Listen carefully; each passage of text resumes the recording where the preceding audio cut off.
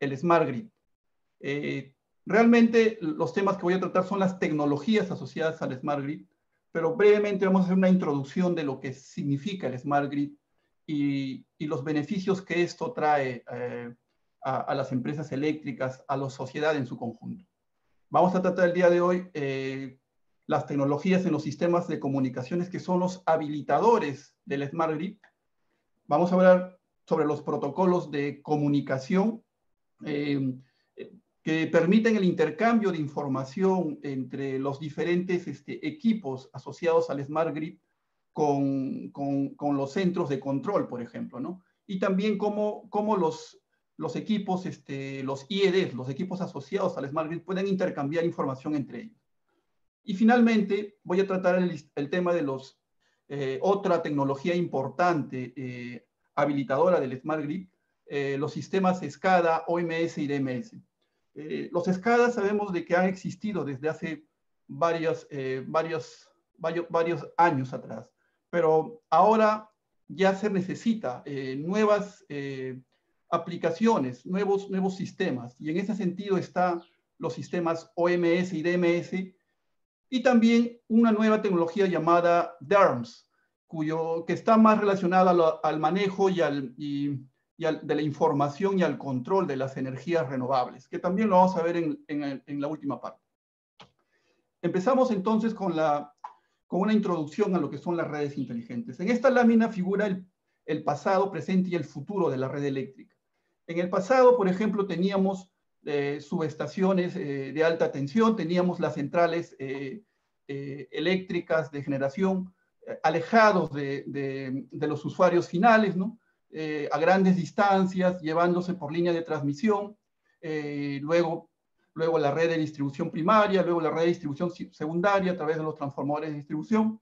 Eh, todos estos se, comunicaban a, a un centro de control, pero en este caso, en el pasado, era básicamente por vía teléfono, líneas conmutadas, de, una forma eh, de poder eh, controlar, poder ver los valores de, de, las variables importantes del sistema. ¿no?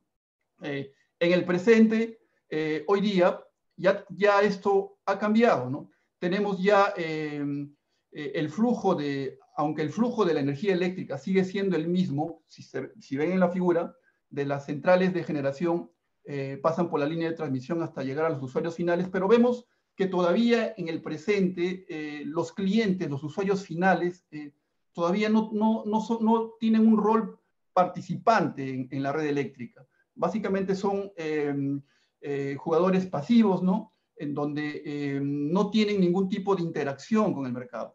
Eh, se presentan hoy, hoy en día este, generación fuentes renovables, ¿no? Como por ejemplo la, la energía eólica, ¿no? que también está asociada a las redes de transmisión, a las redes también, este, algunas de ellas a las redes de media tensión. Hay centros de control para, las, para las redes de transmisión, centros de control para para la red de distribución eléctrica, ¿no? Y ellas interconectadas, ¿no? Eh, pero ¿qué es lo que se viene? ¿Qué es el futuro? ¿Cuáles son los cambios que se avecinan en la red eléctrica? Y esto lo vemos en la, eh, en la, en la figura de la derecha. Ya se presentan nuevos, nuevos actores en el sistema eléctrico. Eh, por ejemplo, la, los sistemas de almacenamiento ¿no? de energía, que en el pasado no, no tomaron preponderancia debido a los altos costos que esto, que esto implicaba. Pero hoy en día ya esto juega un papel preponderante. ¿no? Entonces ya ahora también los usuarios dejan de ser pasivos para tomar un rol más activo. Aquí las redes de comunicaciones, que es representada por los puntos en, azul, ya, no, ya, ya está llegando a las, a, las redes este, de los usuarios finales, eh, de los clientes residenciales, los clientes comerciales, los clientes industriales. Ya hay generación ya no solo en la red este de, alta, de, eh, en la red de a nivel de las centrales hidroeléctricas, a nivel de alta tensión, ya las, los recursos distribuidos dispersos ahora a través de, la red, de las redes de distribución primaria, las redes en media tensión o, las redes este, en, en, el lado de baja tensión, también gracias a que ahora los usuarios podrían este, generar energía fotovoltaica ¿no? en sus domicilios y entregar energía a la red ya aparecen nuevos actores como los vehículos eléctricos, ¿no?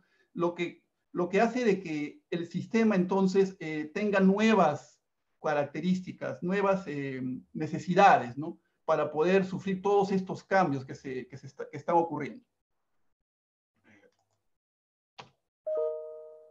Por eso hablamos a nivel ya de un sistema de distribución de energía eléctrica, la red de distribución, eh, vemos diferentes niveles hasta llegar a lo que es una red con Smart Grid. ¿no? Eh, en el nivel cero, por ejemplo, es un nivel en donde no hay ningún tipo de interacción entre los eh, equipamientos del sistema eléctrico, de las empresas eléctricas con el centro de control. ¿no?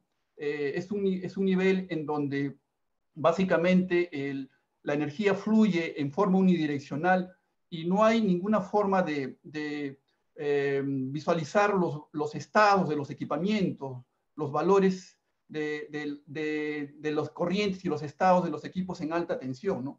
Este nivel cero, por ejemplo, actualmente este, ya ha sido en la mayoría de las empresas eléctricas donde se han implementado este, sistemas, por ejemplo, SCADA, eh, ya, ya, este, ya, ya por lo menos eh, ya han pasado, en el caso de las empresas eléctricas, al nivel 1, pero comenzaron este, con este nivel, ¿no? de los equipos como, colocados en las subestaciones de alta tensión, los reconectadores, los reguladores de voltaje, eran elementos que no enviaban información, ¿no? que no enviaban información valiosa del estado, de, por ejemplo, de, de, de, su posición del interruptor en un momento determinado, los valores de corriente y tensión. Entonces, eran equipos que no intercambiaban información. Eh, posteriormente, las redes migraron a un nivel 1. Y es como, por ejemplo, muchas eh, empresas eh, eléctricas del sector tienen este, este esquema actual, en donde la subestación, la subestación de transformación o la subestación de potencia, donde existen equipamientos como relés de protección, medidores, ya son monitoreadas desde un centro de control, donde se colocan servidores potentes capaces de poder leer esa información y acá ya se habilita eh, el, sistema SCADA, por ejemplo, para poder leer esta información. Sin embargo, este, continúa el flujo unidireccional en este nivel 1, nivel que actualmente muchas empresas eléctricas lo tienen. Eh, sin embargo, los reguladores de voltaje, los recloser, por ejemplo, los bancos de capacitores, no, no envían todavía información al centro de control. Todavía vemos aquí que eh, los usuarios finales tienen, por ejemplo, medidores convencionales, medidores eh, eh, que no son del tipo bidireccional, por ejemplo, en este nivel. Em, en el siguiente nivel, ya es un nivel que, algunas empresas del sector eléctrico lo tienen, en donde ya, además de, que las subestaciones de, potencia ya envían la información al centro de control a través de un sistema SCADA, ahora lo hacen, por ejemplo, los reguladores, eh, los reclosers, ¿no? A través de diferentes medios de comunicación, como lo vamos a ver más adelante, entre ellos, por ejemplo, la red celular, ¿no? Eh, pero igual el flujo es unidireccional, ¿no? Todavía eh, no se tiene acá la bidireccionalidad, que es clásico de un sistema eh, que tiene, por ejemplo, un sistema AMI, ¿no? Que es un habilitador para el Smart Grid.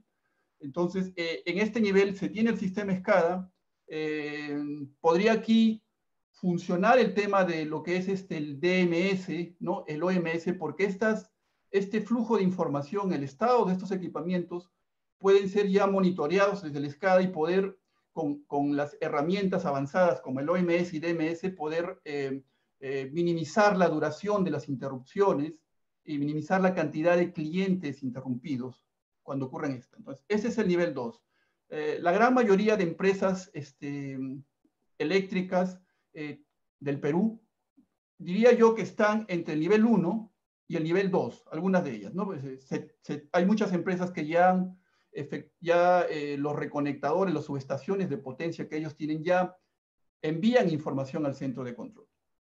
Pero lo que se, lo que se requiere para, para poder llegar a tener un nivel de, a, nivel de un smart grid es este nivel, en donde ya las, los usuarios finales son actores activos, donde ya no solamente este, este medidor, este smart meter, que es su terminología, eh, no solamente eh, registra el consumo de, de, lo que la empresa eléctrica le, le, suministra la energía, sino que ya puede este, monitorear el tema de, los envíos que este, eh, que este usuario, por ejemplo, con generación fotovoltaica puede inyectar al sistema. Y luego también este medidor enviar a través de un sistema de comunicaciones, como lo vamos a ver más adelante. Ya hay otros actores también. La generación, por ejemplo, eólica, la generación eh, fotovoltaica, ya aparecen aquí como elementos que pueden inyectar energía este, al sistema, a la red de distribución primaria.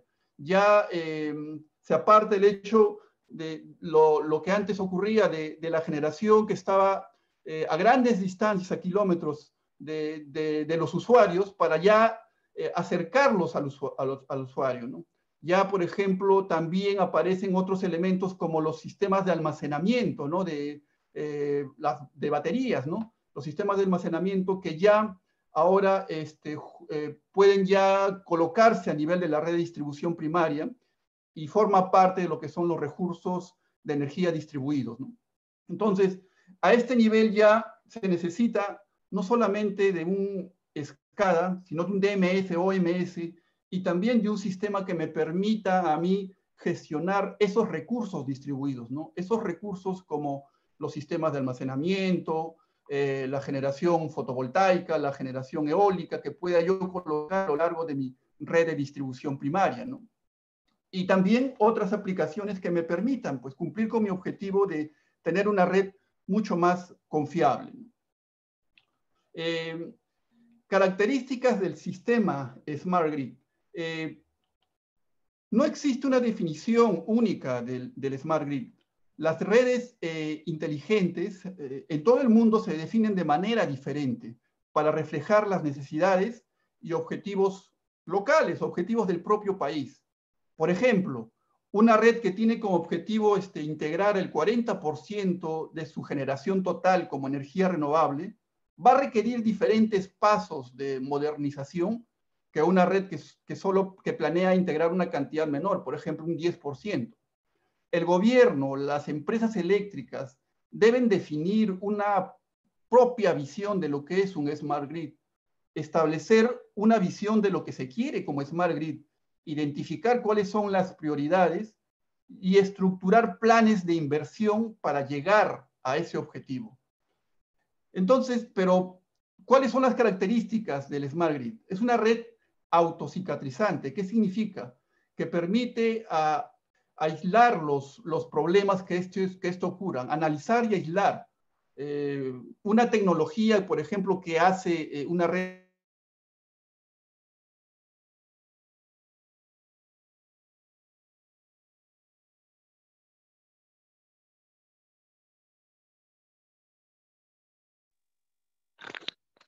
Ingeniero Diógenes. ¿Al ingeniero Diógenes? Sí, parece que el ingeniero Diógenes ha tenido algunos problemas técnicos.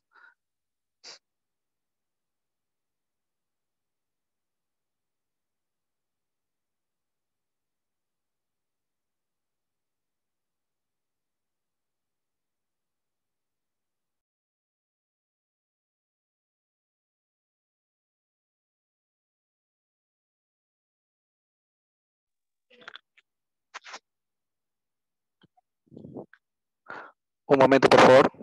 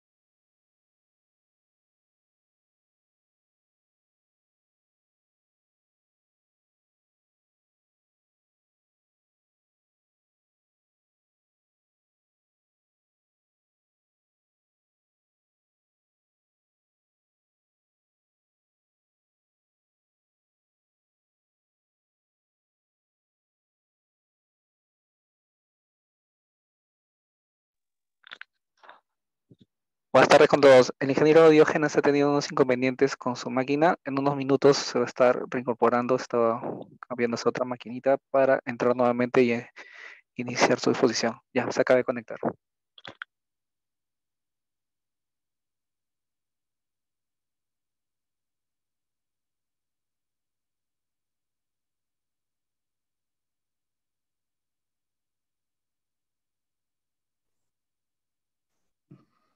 Disculpen la, eh, el corte de la, de la comunicación. Voy a mostrar nuevamente,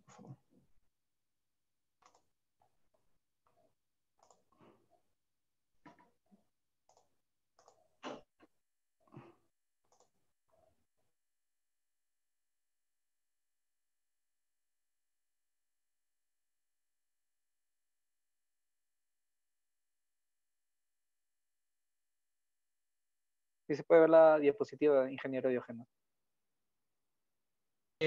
Esta participación activa del cliente es otra característica del, del sistema Smart Grid. Eh, esta característica se, se, se, logra con, con los medidores inteligentes. Los medidores inteligentes de alguna forma habilitan a los clientes a que puedan ellos eh, eh, gestionar la energía tanto que consumen como la que pueden inyectar al sistema. Eh, resistencia a las causales naturales de desastres y ataques cibernéticos. Eh, esta es otra característica que también tienen que tener los, los equipos que Madrid. Ahora es, estos ataques cibernéticos es, eh, ya se están haciendo más continuos. Eso, eso implica que los equipamientos que se conecten deben tener características pues, de, de ciberseguridad, ¿no? de ciberseguridad para poder eh, de alguna forma minimizar los efectos de, de, de, un, de, que un hacker externo pueda ingresar al sistema. Eh, mayor confiabilidad y calidad de la energía, soporte de toda generación y opciones de almacenamiento. Eh, esta es otra característica del Smart Grid. Un sistema Smart Grid debe poder, por ejemplo, soportar energía fotovoltaica, energía eólica, micro, eh, microturbinas eh, y otro tipo de generación que pueda, que pueda um, formar parte de este sistema eléctrico. Habilitación de nuevos productos y servicios y mercados.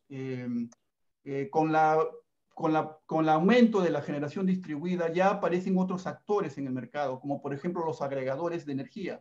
Son los que de alguna forma centralizan o agrupan a una cantidad, por ejemplo, de, usuarios que generan energía para que puedan ellos negociar mejores condiciones en el mercado eh, a la hora de negociar este precio. Eh, utilización de los activos y eficiencia operacional es otra característica de la red inteligente Smart Grid. Eh, asociado a la Smart Grid hay una serie de tecnologías. Una de ellas, por ejemplo, es, son los sistemas AMIS. Los sistemas AMIS son los, son, es la puerta de entrada al Smart Grid. ¿no? Eh, un sistema AMI involucra pues este, hardware y software, ¿no? Y un medio de comunicación. Los smart meters, los medidores inteligentes, son parte del sistema AMI y el software que permite este, interrogar, este, interrogarlos y, y poder tener toda la información valiosa del consumo de estos medidores. Eh, en la siguiente, eh, Will Medina va, a explicarles un poco más sobre, este, sobre esta tecnología asociada a los sistemas AMI. Otra de las tecnologías eh, está, como les mencionaba, la generación distribuida, ¿no? Todos los eh, recursos energéticos distribuidos, como, como por ejemplo los sistemas de almacenamiento a baterías, los sistemas fotovoltaicos, los sistemas eh, eólicos, de energía eólica. Entonces, son parte de, esta, de, este, de, estas tecnologías asociadas al Smart Grid. Otra de las tecnologías es la automatización de las subestaciones de, alta tensión, la automatización de, los, de la red de media tensión a través de los reconectadores, este, a través de los este, reguladores de tensión, capacitores. Entonces, todos estos forman parte de, de tecnologías que habilitan el Smart Grid. El centro de control también a través de la habilitación de sistemas que me permiten monitorear, controlar y, y gestionar de manera activa todos, todos estos eh, elementos que conforman el Smart Grid. En, el centro de control, por ejemplo, tenemos los sistemas SCADA, los sistemas OMS y DMS, ¿no? que son, eh, que habilitan a la operación del sistema, del sistema eléctrico. Y a lo largo de, todo, de todo, todas estas tecnologías, todos estos equipamientos, tenemos pues eh, los medios de comunicación, que, es, que lo vamos a, ver al detalle cada uno de ellos, ¿no? Hay, los medios de comunicación son los que habilitan esa, esa llegada a estos equipos finales y me permiten tener la información para poder lograr un objetivo común de, de por ejemplo, de eh, reducir la cantidad de clientes interrumpidos, eh, reducir la demanda de, energía, etc. También otro elemento del Smart Grid son, son los, son los eh, por ejemplo, los equipos, la gestión de activos. Los equipos, por ejemplo, que me permiten gestionar los activos importantes de una subestación, por ejemplo, el transformador, ¿no? equipamientos que me permiten este, monitorear las variables principales de un, de un transformador de potencia. Entonces, estos, este, este software, estos software también me permiten, son habilitadores del Smart Grid. Y ahora vamos a tocar el punto de las tecnologías en sistemas de comunicaciones. Eh, es la base fundamental del funcionamiento del Smart Grid. Sin comunicación y, no poder llegar a los equipos este, finales, como por ejemplo Recloser o, o por ejemplo eh, sistemas de almacenamiento o llegar hasta el cliente final que tienen del Smart Meter, entonces eh, no podría lograr todo lo que se necesita para, para poder gestionar y operar adecuadamente mi sistema eléctrico. Eh, pero se requiere pues medios de comunicaciones que tengan una latencia, confiabilidad y seguridad adecuada. Eh, nacen, por lo tanto, nuevos desafíos ante la necesidad de integrar nuevos, nuevos agentes, ¿no? como plantas de energía renovable. ahora ya, antes eh, los sistemas de comunicación llegaban a las subestaciones de alta tensión o llegaban hasta el reconectador, pero ahora ya, ya vamos más allá con el Smart Grid. Vamos a llegar ahora hasta los usuarios finales, hasta el medidor del usuario final, eh, hasta, hasta, el, hasta el inversor del, equipo que, que forma parte de la generación fotovoltaica. Entonces, vamos a llegar a decir, ¿cómo se llega con medios de comunicación con una latencia adecuada, con una confiabilidad adecuada y con una seguridad adecuada. A medida que más dispositivos son conectados al Smart Grid, eh, la seguridad también se vuelve un punto importante, ¿no? El tema de la ciberseguridad es un punto crítico. Eh, por ello, todos los sistemas que, se, que, forman parte de este Smart Grid, desde el centro de control, desde el SCADA, OMS y DMS, deben tener eh, criterios de ciberseguridad tanto físicos como también este, importantes, ¿no? Para poder, eh, para poder evitar que un, que un em, agente externo pueda ingresar al sistema y poder, y poder causar estragos, estragos en el mismo, ¿no? Eh, este es el modelo de comunicación asociado al, a, una red Smart Grid, donde ya eh, se involucra al cliente, al cliente final, y se involucra también a, los usuarios, eh, a, nuevos, a nuevos agentes, a nuevos, a nuevos este, actores del, Smart Grid. Por ejemplo, es, eh, los agregadores de energía, ¿no? Eh, que ahora hacen partícipe al cliente en el mercado eléctrico. ¿no? Antes este mercado que estaba mayormente este, concentrado en lo que es este, la generación, transmisión y distribución, ahora ya este, ha sobrepasado para llegar hacia el cliente final, que, ahora tiene un rol activo en, eh, en, el Smart Grid. Este modelo es de la National Institute of Standard de Tecnología, el NIS, eh, y, es una de, y muestra pues cómo son las interacciones entre las diferentes este, participantes del Smart Grid a nivel de generación, transmisión, distribución y el cliente final. Aquí presentamos otro, otro modelo de, que me muestra pues, este, los diferentes sistemas, los diferentes este, redes eh, que me permiten, em, que permiten que la información valiosa de los equipos eh, en la red de distribución primaria, en la red de transmisión, puedan llegar hasta, hasta los centros de control. Por ejemplo, empecemos por, por el lado del cliente. Eh, el cliente ahora va a tener un rol activo, como les mencioné. Aquí está el medidor de energía eléctrica, eh, el cual eh, está, ya forma parte de una red interna dentro de, del cliente, los smart home, por ejemplo, donde ya se cuentan con aparatos y equipos eléctricos, por ejemplo, como termostatos, que pueden eh, ser telecontrolados, se pueden ser monitoreados y controlados, por ejemplo, eh, a distancia, desde eh, si es que el cliente, por ejemplo, negocia con, una, em, con la empresa distribuidora, que ante una necesidad de una necesidad de, de, que se despejen cargas, el cliente puede indicar de que pueda desconectarse este, este aparato, ¿no? este, este, este equipo. Entonces, se abren nuevos negocios asociados al Smart Grid. Eh, los vehículos eléctricos que un cliente pueda tener también eh, forma parte de esa red local a través de un, de un, sistema de comunicaciones de red diaria, de red local, ¿no? Como por ejemplo este, el, el Zigbee, el, el, eh, el Zigbee, el Wi-Fi, por ejemplo, pueden conectarse a esta red local asociada al cliente. A nivel de la red de distribución, tenemos pues este, equipamientos de campo como reconectadores, recloser, eh, elementos como por ejemplo sistemas de almacenamiento de energía. Entonces, toda esa información de la red de distribución eh, va a pasar por estas redes de área de campo, o, que a su vez luego llegan a, los sistemas SCADA, OMS y DMS, ¿no? que, se encuentran en las, empresas, en las empresas eléctricas, en los centros de control. A nivel de la red de transmisión, también este, las, subestaciones de alta tensión, que son monitoreadas este, a distancia por también el SCADA, el SCADA del área de transmisión, eh, cuentan con una red propia, red, de área extensa, eh, una red de, transmisión que le permite poder desde el SCADA leer los equipamientos de, eh, las subestaciones de alta tensión, pero a su vez es, los sistemas de almacenamiento también este, aplican a los sistemas de transmisión y por lo tanto necesitan ser monitoreados y telecontrolados en forma remota desde estos sistemas del centro de control.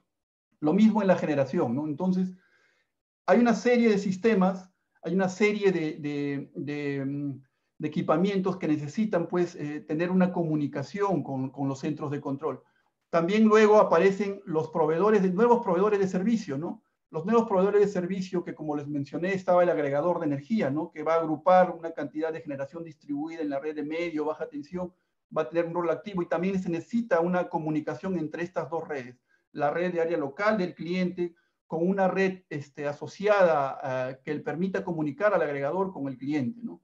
Eh, esta es una, este es una un modelo, un modelo de las redes de comunicación necesarias a nivel del Smart Grid, tanto a nivel de generación, transmisión y distribución.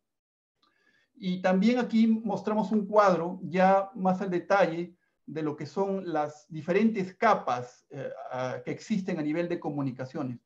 Por ejemplo, eh, a nivel ya de, eh, de, los clientes, de los usuarios finales, que van a tener medidores de energía, se habla de redes tipo HAN, ¿no? Tipo HAN, eh, y aquí, entre las redes de comunicaciones tipo HAN que, que, existen y en, en, el lado del cliente, tenemos, por ejemplo, el Wi-Fi, el Zigbee, el ZY, el PLC, ¿no? son, son redes de comunicaciones que aplican a este, a este sistema. Todas ellas, obviamente, con, las, con los criterios de seguridad que se necesitan ¿no? para, para el tema de la ciberseguridad, para así llegar a la capa de aplicación. Aquí ya va a estar este, el centro de control, el sistema AMI que va a interrogar a estos, a estos usuarios em, eh, por información. A nivel de las redes de distribución, tenemos ya, se habla de redes NAN y FAN. Eh, en, este, en, este, en este nivel tenemos, por ejemplo, los sistemas de radiofrecuencia, ¿no? Eh, los sistemas este, también eh, Power Line Communication, los sistemas este, RPMA, están aquí en este sistema, eh, en donde se están, se están lecturando, se están monitoreando eh, equipamientos como sensores inteligentes, se están switches o reconectadores, interruptores, seccionadores bajo carga en la red de media tensión, transformadores, transformadores de distribución toda esa información a nivel de la red de distribución. Y aquí en este nivel tenemos pues este, aplicaciones como por ejemplo eh, el OMS, el DMS, ¿no? sistemas que están este, en el centro de control de la empresa eléctrica. Luego, a nivel de lo que es transmisión y generación, tenemos pues ya eh, sistemas como los PMUs, los bancos de capacitores eh, en las subestaciones, ¿no? Eh, ya equipamiento a nivel de la subestación de potencia, donde ya se hablan de redes WAN, ¿no? Redes WAN que, y las tecnologías aplicadas, acá tenemos por ejemplo WiMAX o fibra óptica, ¿no? Para poder este, llegar a estas subestaciones de, de potencia. Y a nivel de, de, la capa de aplicación tenemos pues los sistemas, pues además del SCADA, los sistemas CMS, ¿no? Sistemas que, que, que son monitoreadas y controladas desde el centro de control.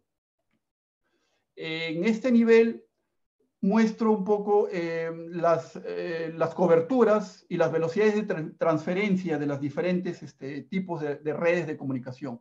Las redes HAM, por ejemplo, eh, las redes este, dentro del, de, del, área del cliente, por ejemplo, el usuario final, van desde 1 a 100 kbps, ¿no? Eh, un rango de acción de 1 a 100 metros aproximadamente.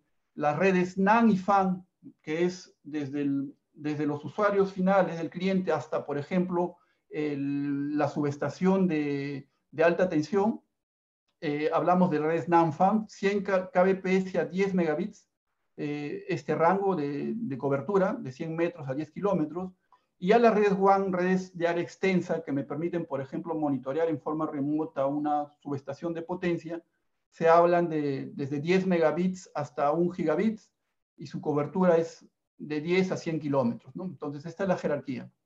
Eh, luego aquí tenemos ya un poco más al detalle de lo que es este, la red HAN, la red de área del cliente, eh, la red eh, Building Area Network, que es la red BAM, es para la automatización de los que son los edificios, eh, las tecnologías asociadas a estas, eh, a estas redes eh, son el ZigBee, el Wi-Fi, el PLC, como les he mencionado. las redes FAN son aplicadas a las redes de la automatización, de la distribución, a la red de transmisión de, de datos desde un, de un gran grupo de equipos a lo largo de la red de media tensión.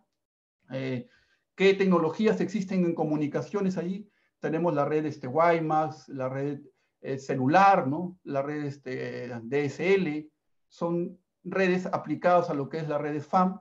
Y las redes WAM, las redes de área extensa, eh, aquí ya tenemos comunicaciones vía fibra óptica, WiMAX, eh, comunicación satelital, ¿no? Son, son las diferentes tecnologías aplicadas a estas redes. Aquí un poco eh, muestro eh, el detalle de las diferentes tecnologías alámbricas e inalámbricas, ¿no? Y también cada una de ellas, este, eh, sus velocidades máximas de transmisión y la cobertura de los mismos, ¿no? Y la cobertura de los mismos.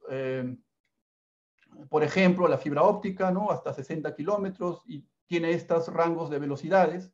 Las redes, entre las redes inalámbricas, por ejemplo, tenemos el, el ZigBee, aplicado a lo que es este, la red, eh, las redes HAN, las redes este, dentro del, del, usuario, las redes residenciales, eh, 250 kbps y, y, hasta un rango de cobertura de 100 metros. Entonces tenemos aquí las diferentes coberturas. La red celular, por ejemplo, muy usada, por ejemplo, para monitorear este, reconectadores, equipamiento en la red de distribución, tienen estas, estas velocidades, ¿no? tanto en sus tecnologías 2G hasta la 4G, que, que llega a 100 megabits por segundo. Las redes satelitales también eh, tienen una velocidad de transmisión de 1 megabit y cubren estos eh, de 100 a 6.000 kilómetros en cobertura. Entonces, hasta aquí hemos, hablamos de los sistemas de comunicaciones. Ahora vamos a hablar de los protocolos de comunicaciones. Eh, ya centrémonos ahora en, el, en, la subestación de potencia, por ejemplo, en primera instancia, donde tenemos eh, equipamientos como esto, ¿no? En muchas de las subestaciones que, que he visitado, por ejemplo, se, tiene, se tienen estas, estas, este, estos cableados, esta, esta disposición de equipamiento, gran cantidad de cables a lo largo de las canaletas de la subestación, eh, mucho cableado, muchos equipamientos, o algunos de ellos eh, equipos electromecánicos que ahora obviamente se han reemplazado por equipos de última generación, pero es, es el común denominador. Eh, gran cantidad de cable. Eh, ahora ya con, la mejora pues, de, la, tecnología en los relés de protección, ya este, la cantidad de cableado ha disminuido, pero igual, continúa siendo mucho cable, ¿no?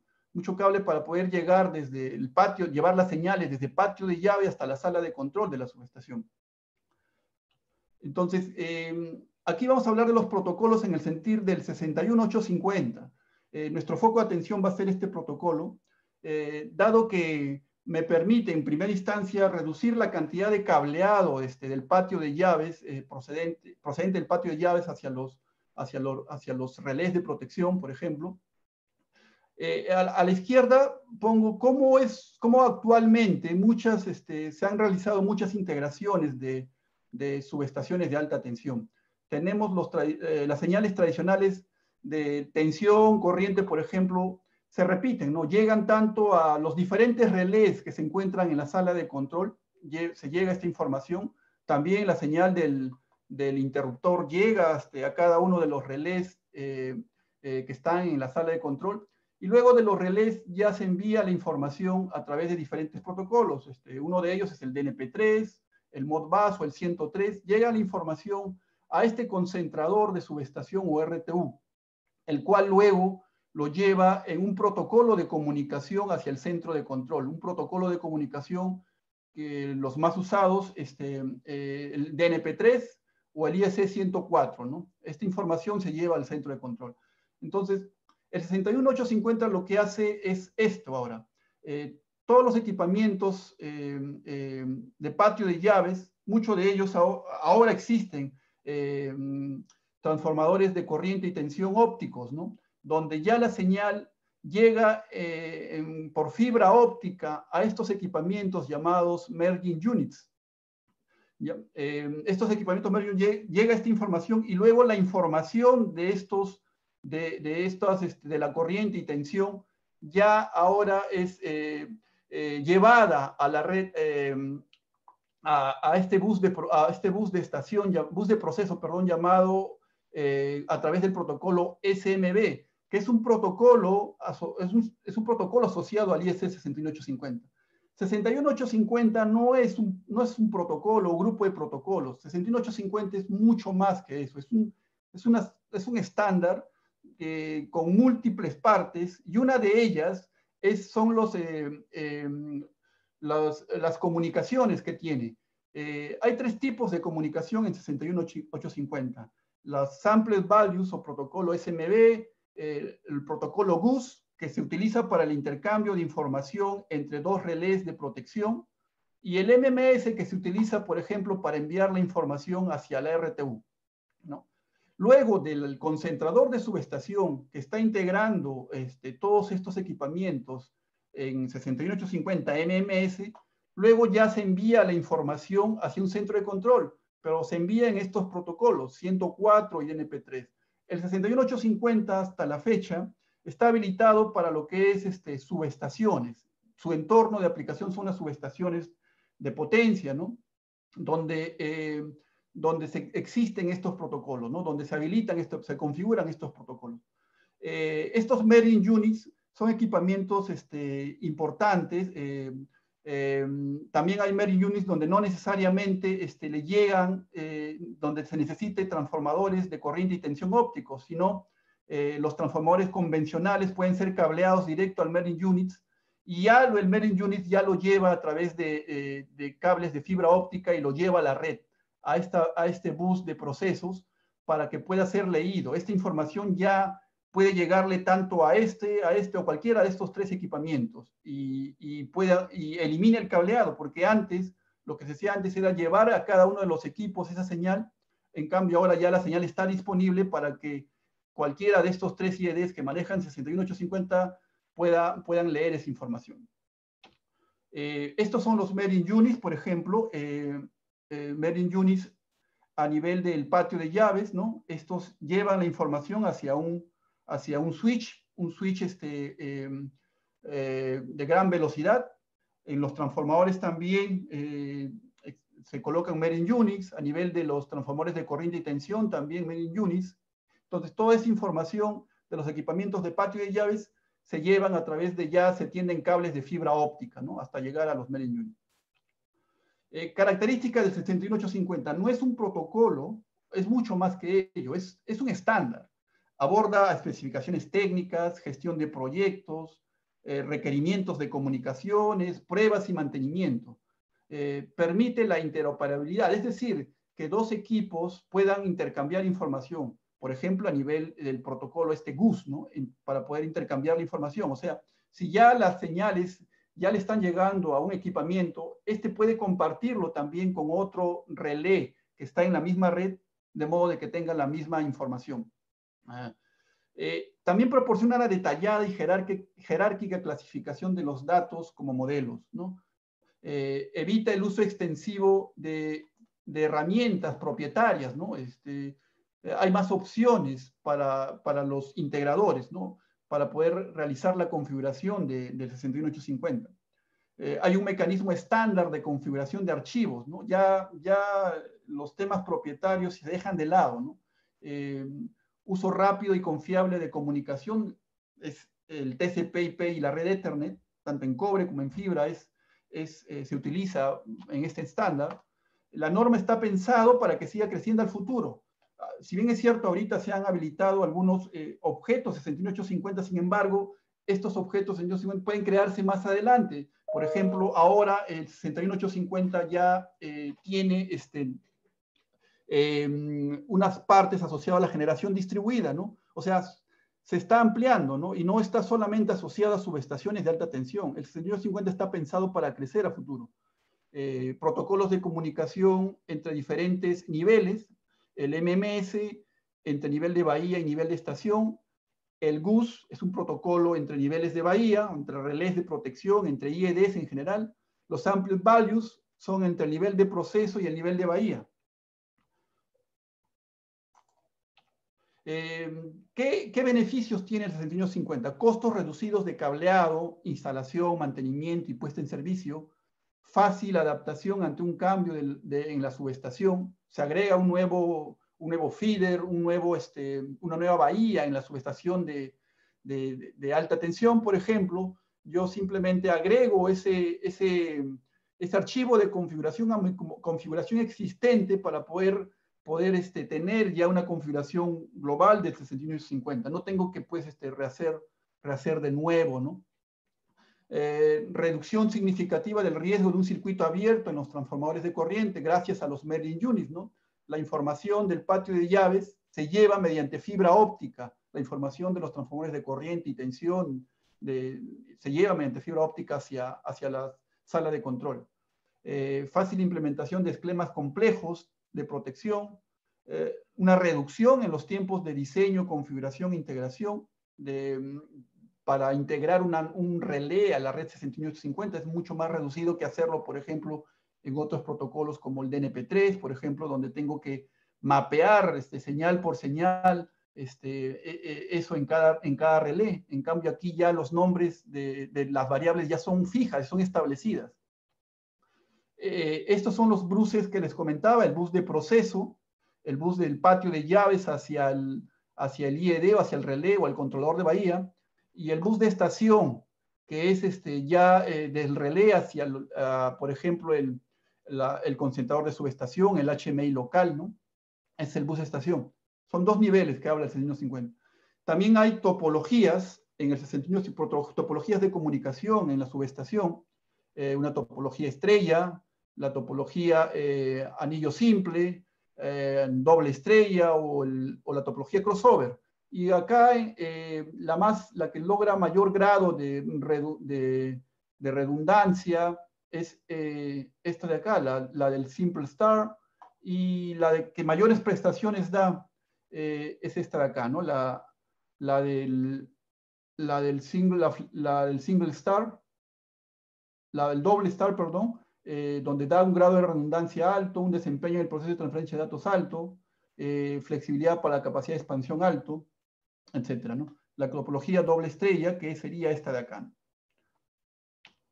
Eh, 6850 lo que hace es que los equipamientos físicos que nosotros conocíamos como transformadores de corriente, relés de protección, ya son, son modelados eh, eh, como objetos lógicos, ¿no?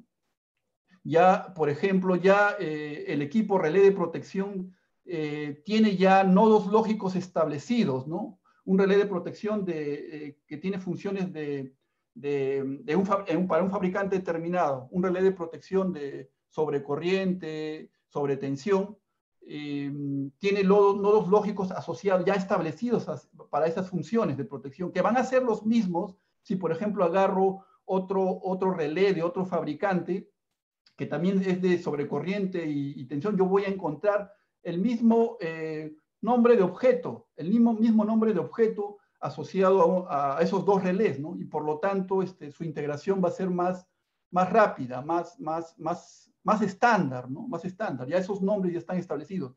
Muy por el contrario, cuando tenía yo dos relés de protección en DNP3, por ejemplo, que quería yo configurarlos, yo tenía que poner una dirección para la tensión, la dirección 1, la corriente, la dirección 2.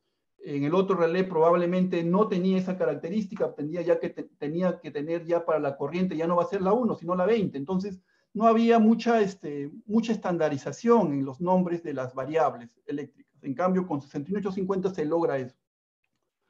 Okay. Ahora vamos a hablar lo asociado a, a lo que es este, eh, los SCADAs, el DMS, el OMS. Eh, los sistemas SCADA han existido desde hace muchos años. Los nuevos son los sistemas DMS y OMS.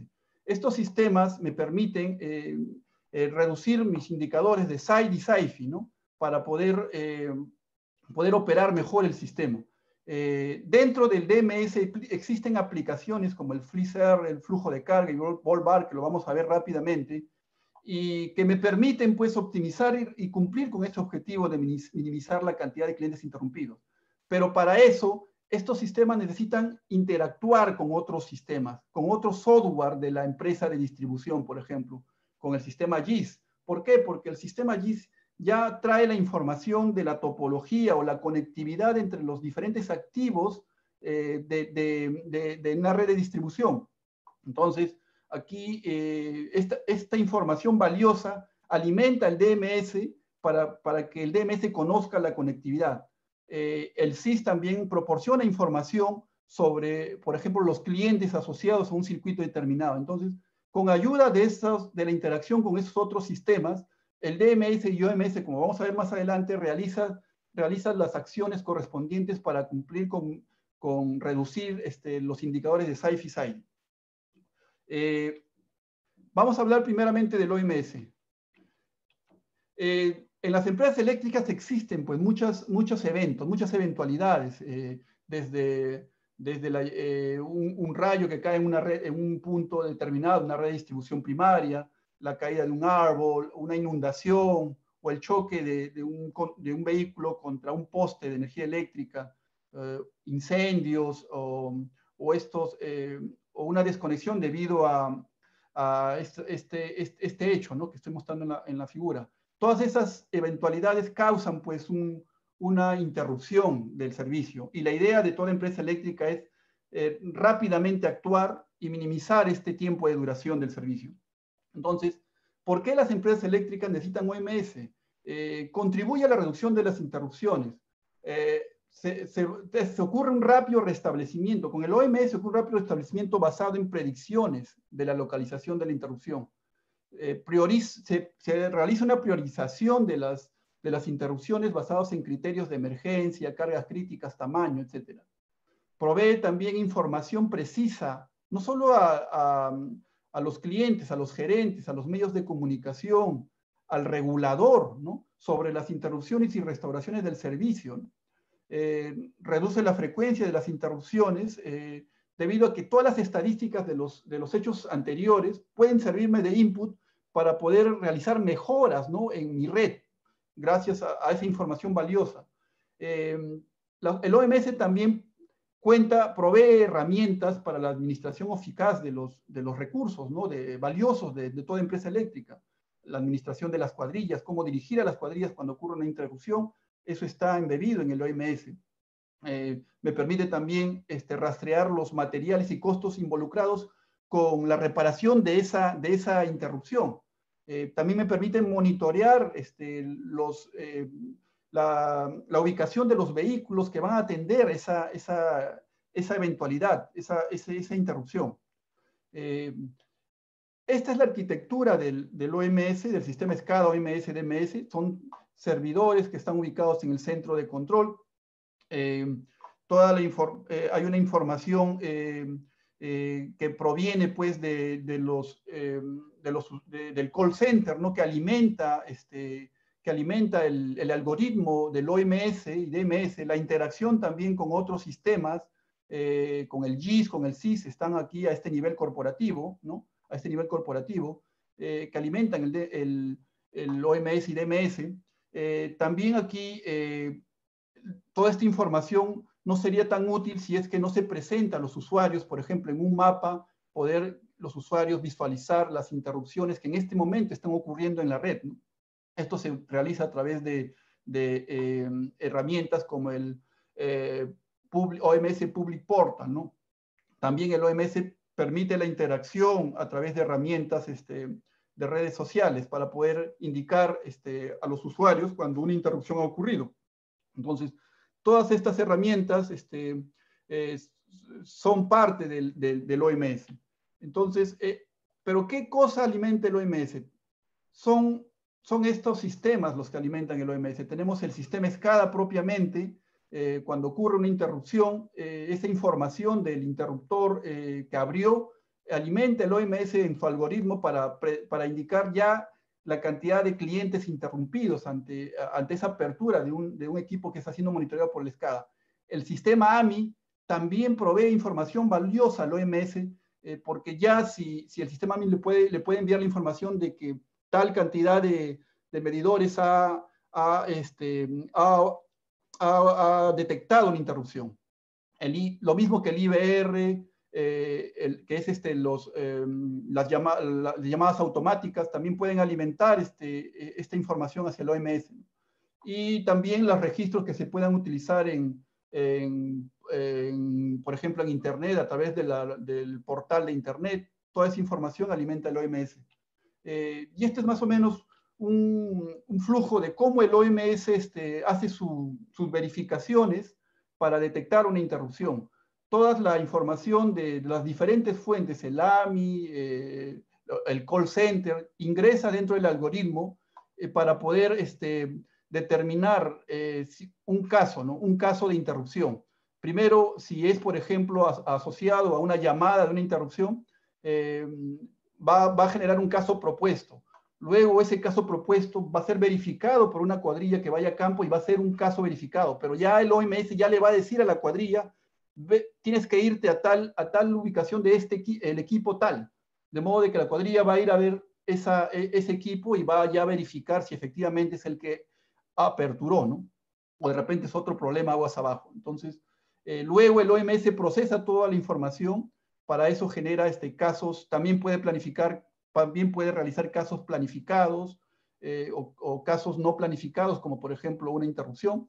Luego, eh, como resultado, el OMS ya eh, puede publicar esa información en la web, ¿no? En, la web, o puede ya este, retornar al, al, call center e indicarle, con, debido a esta interrupción, estos son los usuarios afectados, de modo de que cuando llamen al call center ya tenga esa información y puedan, este, puedan, puedan informar al cliente.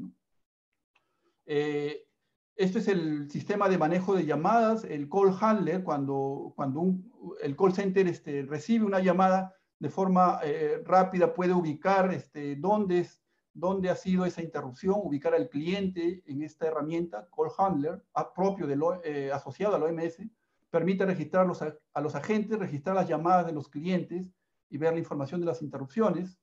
Aquí hay múltiples eh, eh, eh, clientes que han llamado, ¿no? Se puede visualizar en forma gráfica todos los, clientes que han llamado a causa de, interrupciones que han ocurrido en el sistema. y más o menos este es el algoritmo, a grandes rasgos, de cómo funciona el OMS. Este cliente llama indicando que hay una interrupción. este otro cliente llama también eh, entonces, el OMS, el algoritmo del OMS, gracias a que tiene la información topológica de la red proveniente del GIS, dice que el probable punto de interrupción es este de acá.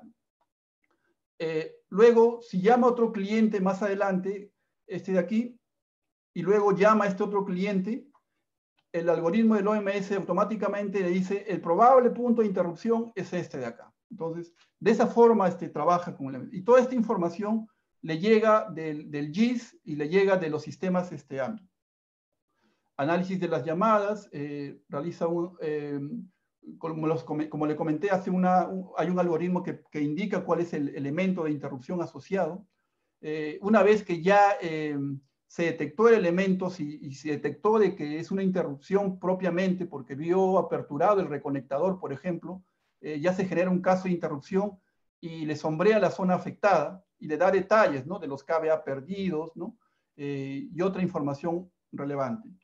Luego, eh, una vez que, que ya este, esa interrupción ha sido ya verificada, ya el OMS interactúa con las cuadrillas a través de esta, de esta, de esta herramienta, el manejo de cuadrillas, para poder eh, eh, colocar los tiempos en los que las cuadrillas llegan a campo, ¿no? Este, recogen los, los materiales, ¿no? qué materiales van a recoger y a qué hora cierran este, esa interrupción también. ¿no? Toda esa información las cuadrillas lo van llenando de forma que alimentan el OMS, eh, de modo de que a su vez el OMS lo tiene y puede indicar este, a los, al call center, por ejemplo, este, la hora estimada de, solución de esa interrupción.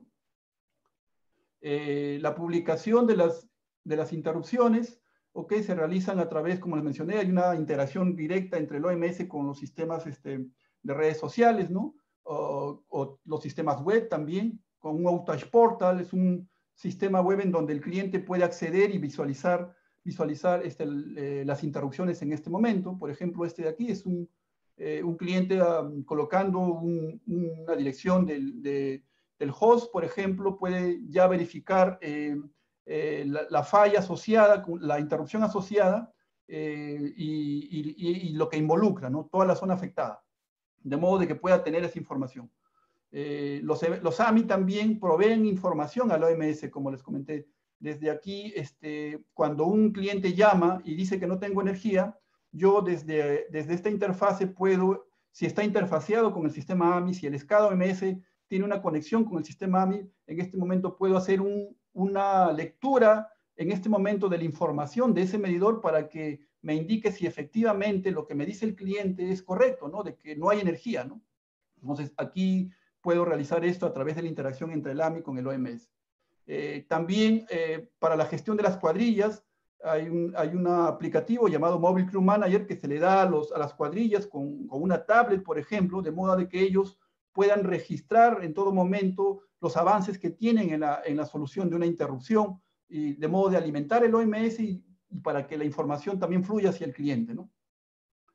Eh, reportes del OMS, reportes de indicadores del SAID y SAIFI, ¿no? reportes este, eh, del SAID y SAIFI total por alimentador, también es otra característica del OMS. Eh, una calculadora para realizar los cálculos rápidos de, de de los indicadores eh, por alimentador, ¿no? Y también el OMS provee un dashboard general en donde eh, se ponen los parámetros principales a nivel gerencial de, asociados con las interrupciones que en este momento tiene la empresa eléctrica. Esto es en el caso del OMS. Otra de las herramientas asociadas a los sistemas, este, eh, al Smart Grid, es el DMS y vamos a tocar tres puntos importantes de un DMS, el flujo de carga y análisis de cortocircuito, eh, el FLIS R y el Ball Bar Optimization. Eh, el flujo de carga, eh, el DMS utiliza cálculos del flujo de carga para proporcionar estudios, informes que ayuden a los operadores para poder gestionar y operar la red. Por ejemplo, el operador puede, antes de realizar este, una, opción de, transferencia de carga, puede evaluar, puede correr en ese momento el flujo de carga en línea en el, en el, en el escado MS-DMS y, poder y, este sistema le va a indicar eh, si es factible o no esa transferencia de carga o si hay algún tipo de problema que va a ocasionar, como por ejemplo este, eh, alguna, eh, alguna sobretensión o una, un problema en la tensión o, o algo, o algo ¿no? informa al operador sobre la mejor manera de restaurar el servicio después de un corte de energía eléctrica. Eso, eso lo hace el, el, sistema DMS con esta herramienta de flujo de carga. Eh, flujo de el cálculo del flujo de carga son periódicos. Eh, para, y, esta herramienta proporciona información útil a los operadores. Eh, cuando existe una amenaza en la seguridad, por ejemplo, eh, el programa corre un análisis de contingencias para indicarle al operador este tipo de problemas. cuando es por un problema de falla en un transformador, una falla en un circuito, entonces le indica qué, qué opciones, qué acciones podría realizar para, para este problema, para esta contingencia. Eh, ¿cómo, ¿cómo, realiza el cálculo? El, el, DMS ejecuta una función llamada repartición de cargas. En base a la carga del alimentador principal, del inicio del alimentador de la red eléctrica de media tensión, hace una repartición de la carga en función de, los, eh, de las potencias de los transformadores de distribución, de las cargas que existen en la red de media tensión. Posteriormente, el motor, eh, de, el motor de cálculo es un algoritmo que realiza una un barrido hacia adelante y otro hacia atrás para, hasta ubicar los valores de voltaje que convergen. Entonces, este es, por ejemplo, un ejemplo de, de una red en media tensión. Eh, tenemos aquí el alimentador. Eh, este, este alimentador es el que, con los valores de esta, de este tensión, corriente de este alimentador, realiza, realiza la distribución a lo largo de toda la red de distribución eléctrica, de modo de que se tiene valores de corriente, tensión, potencia en toda la red eléctrica, en todos los circuitos ¿no? de la red eléctrica. Y, y después puedo yo realizar con esos, con, esa, este, con esos valores estudios, ¿no? Eh, de, qué pasa si cierro este interruptor, qué pasa si hago esta transferencia de carga a este otro interruptor. Puedo también realizar análisis de cortocircuito, ¿no? ¿Qué, ¿Qué sucede si en este punto ocurre un cortocircuito? ¿Cuáles son los valores de cortocircuito? Puede hacer reportes. Eh, otra herramienta del DMS es el FLIS-R. Eh, esta herramienta identifica la falla o pérdida de alimentación de la red eléctrica e intenta restaurar la mayor cantidad de clientes lo más pronto posible. Eh, los beneficios para las empresas eléctricas, reducir el SAIFI, el SAIDI, el aumento de ingresos, el cumplimiento de las métricas regulatorias y de servicio al cliente. Este sistema no previene interrupciones, pero sí las minimiza. Eh, ¿Cuáles son los requerimientos para que funcione el, el FLIS-R? Eh, interruptores y seccionadores telemedidos o reconectadores, por ejemplo, que tengan en su red de media tensión, eh, o seccionadores bajo carga, ¿no? Pero telemedidos, ¿no? Obviamente que, que envíen información al, al, centro de control. También es necesario sensores inteligentes o indicadores de falla, ¿no? Porque estos son los que van a proporcionar que por, este, por esta parte de la red ha ocurrido la falla esa, esa, información también es valiosa. Y luego también interruptores de enlace con otros alimentadores, porque el, el FLICR lo que va a hacer es este, realizar eh, aperturas y cierres para, para, cumplir con su función objetivo de reducir la carga. Este es, este, por ejemplo, una simulación de impacto en los clientes sin, sin FLICR. ¿Cómo, cómo ocurre este, una interrupción sin FLICR? La falla ocurre, por ejemplo, en este lugar. Eh, eh, la falla es descubierta gracias a la llamada de los usuarios, ¿no? En 1 a 10 minutos. Eh, luego viene este, la cuadrilla, ¿no? Para poder reparar la falla, digamos, en 30 y 45 minutos. Eh, localiza la falla, 10 a 15 minutos, aunque esto puede variar. luego hace una restauración manual, va a hacer una restauración manual de este, de este punto. Y logra una restauración, restauración parcial, ¿no? Aquí. O sea, el tiempo total, 90, más de 90 minutos, pero ¿qué pasa? Y un tiempo de reparación de 1 a 4 horas para luego restablecer el sistema, ¿no? Como estaba al inicio, ¿no? Pero ¿qué pasa cuando tiene FreeZR? Eh, la falla ocurre, eh, ocurre una restauración, el propio sistema hace estas maniobras, si se han fijado, hace unas maniobras de apertura y cierre por sí mismo, y ya la restauración eh, una parcial restauración ocurre en menos de cinco minutos, ¿no? Por sí solo el sistema, gracias a que estos elementos están siendo telemonitoreados del centro de control y que el algoritmo del FLICR ya ha hecho las aperturas y cierres para lograr su función objetivo de la menor cantidad de interrupciones. Recién viene la cuadrilla y hace la reparación correspondiente y bueno, se restablece el sistema, ¿no?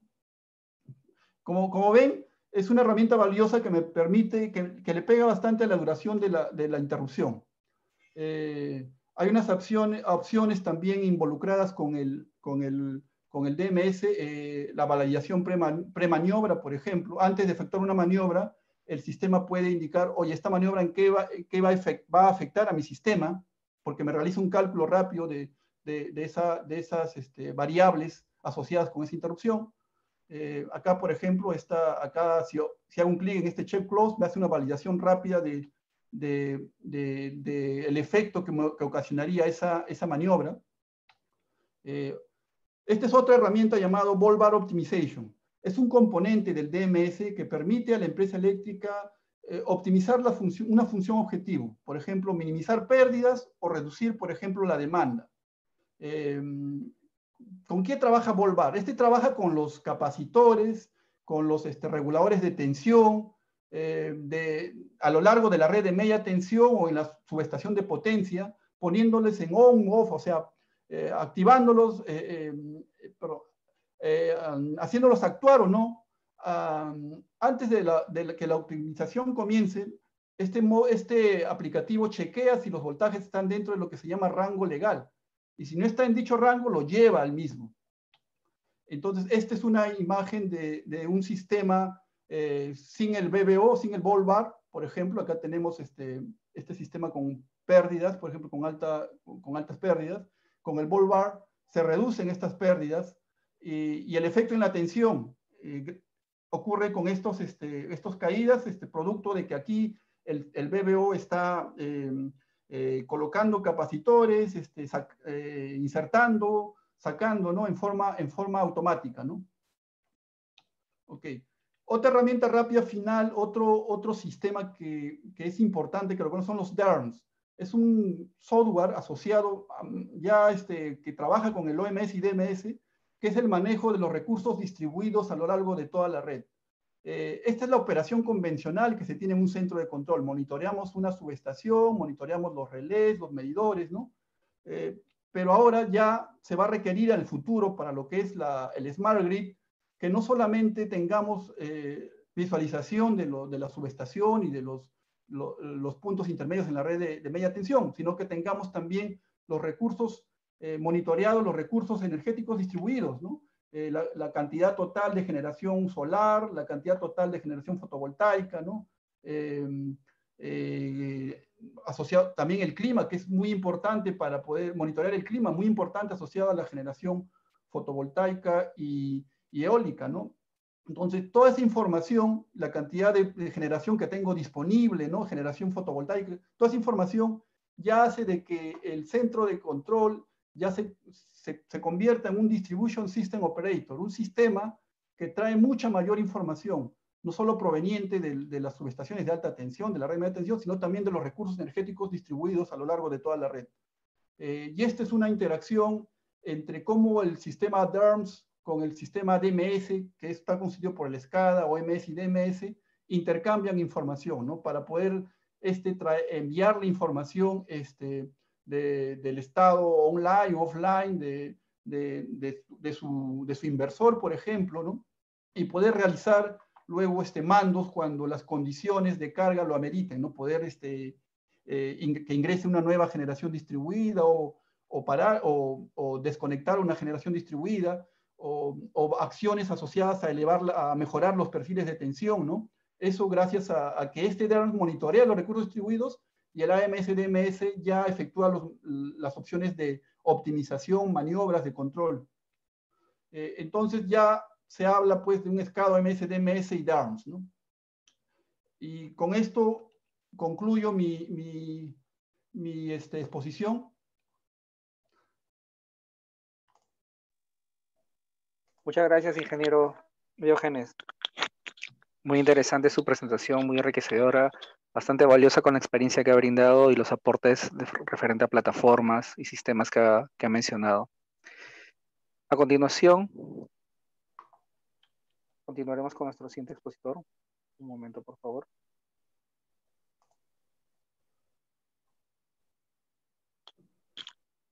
Nuestro siguiente expositor es el ingeniero Will Medina, quien es ingeniero electricista de la Universidad Nacional de Ingeniería Cuenta con estudios de posgrado en sistemas de potencia en la Universidad Nacional de Ingeniería y grado de, Master Business Administration en la Escuela de Negociaciones INCAE de Costa Rica y Adolfo Ibáñez de Chile. Especializaciones, especializaciones en sistemas SCADA y ADMS en Canadá, protecciones eléctricas en Alemania, equipos de prueba de alta tensión en México y sistemas de medición inteligente en Estados Unidos. Tiene más de 22 años de experiencia y se desempeña como gerente general de Procetradi, liderando proyectos tecnológicos en los sectores de electricidad, agua y minería. Ingeniero Will Medina, la sala es suya.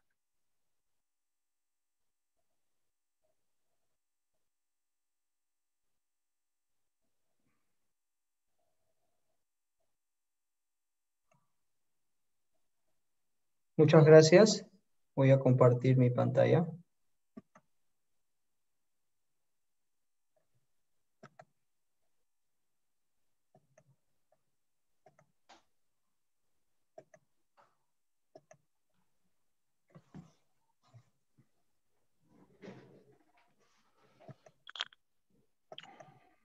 ¿Se ve en pantalla?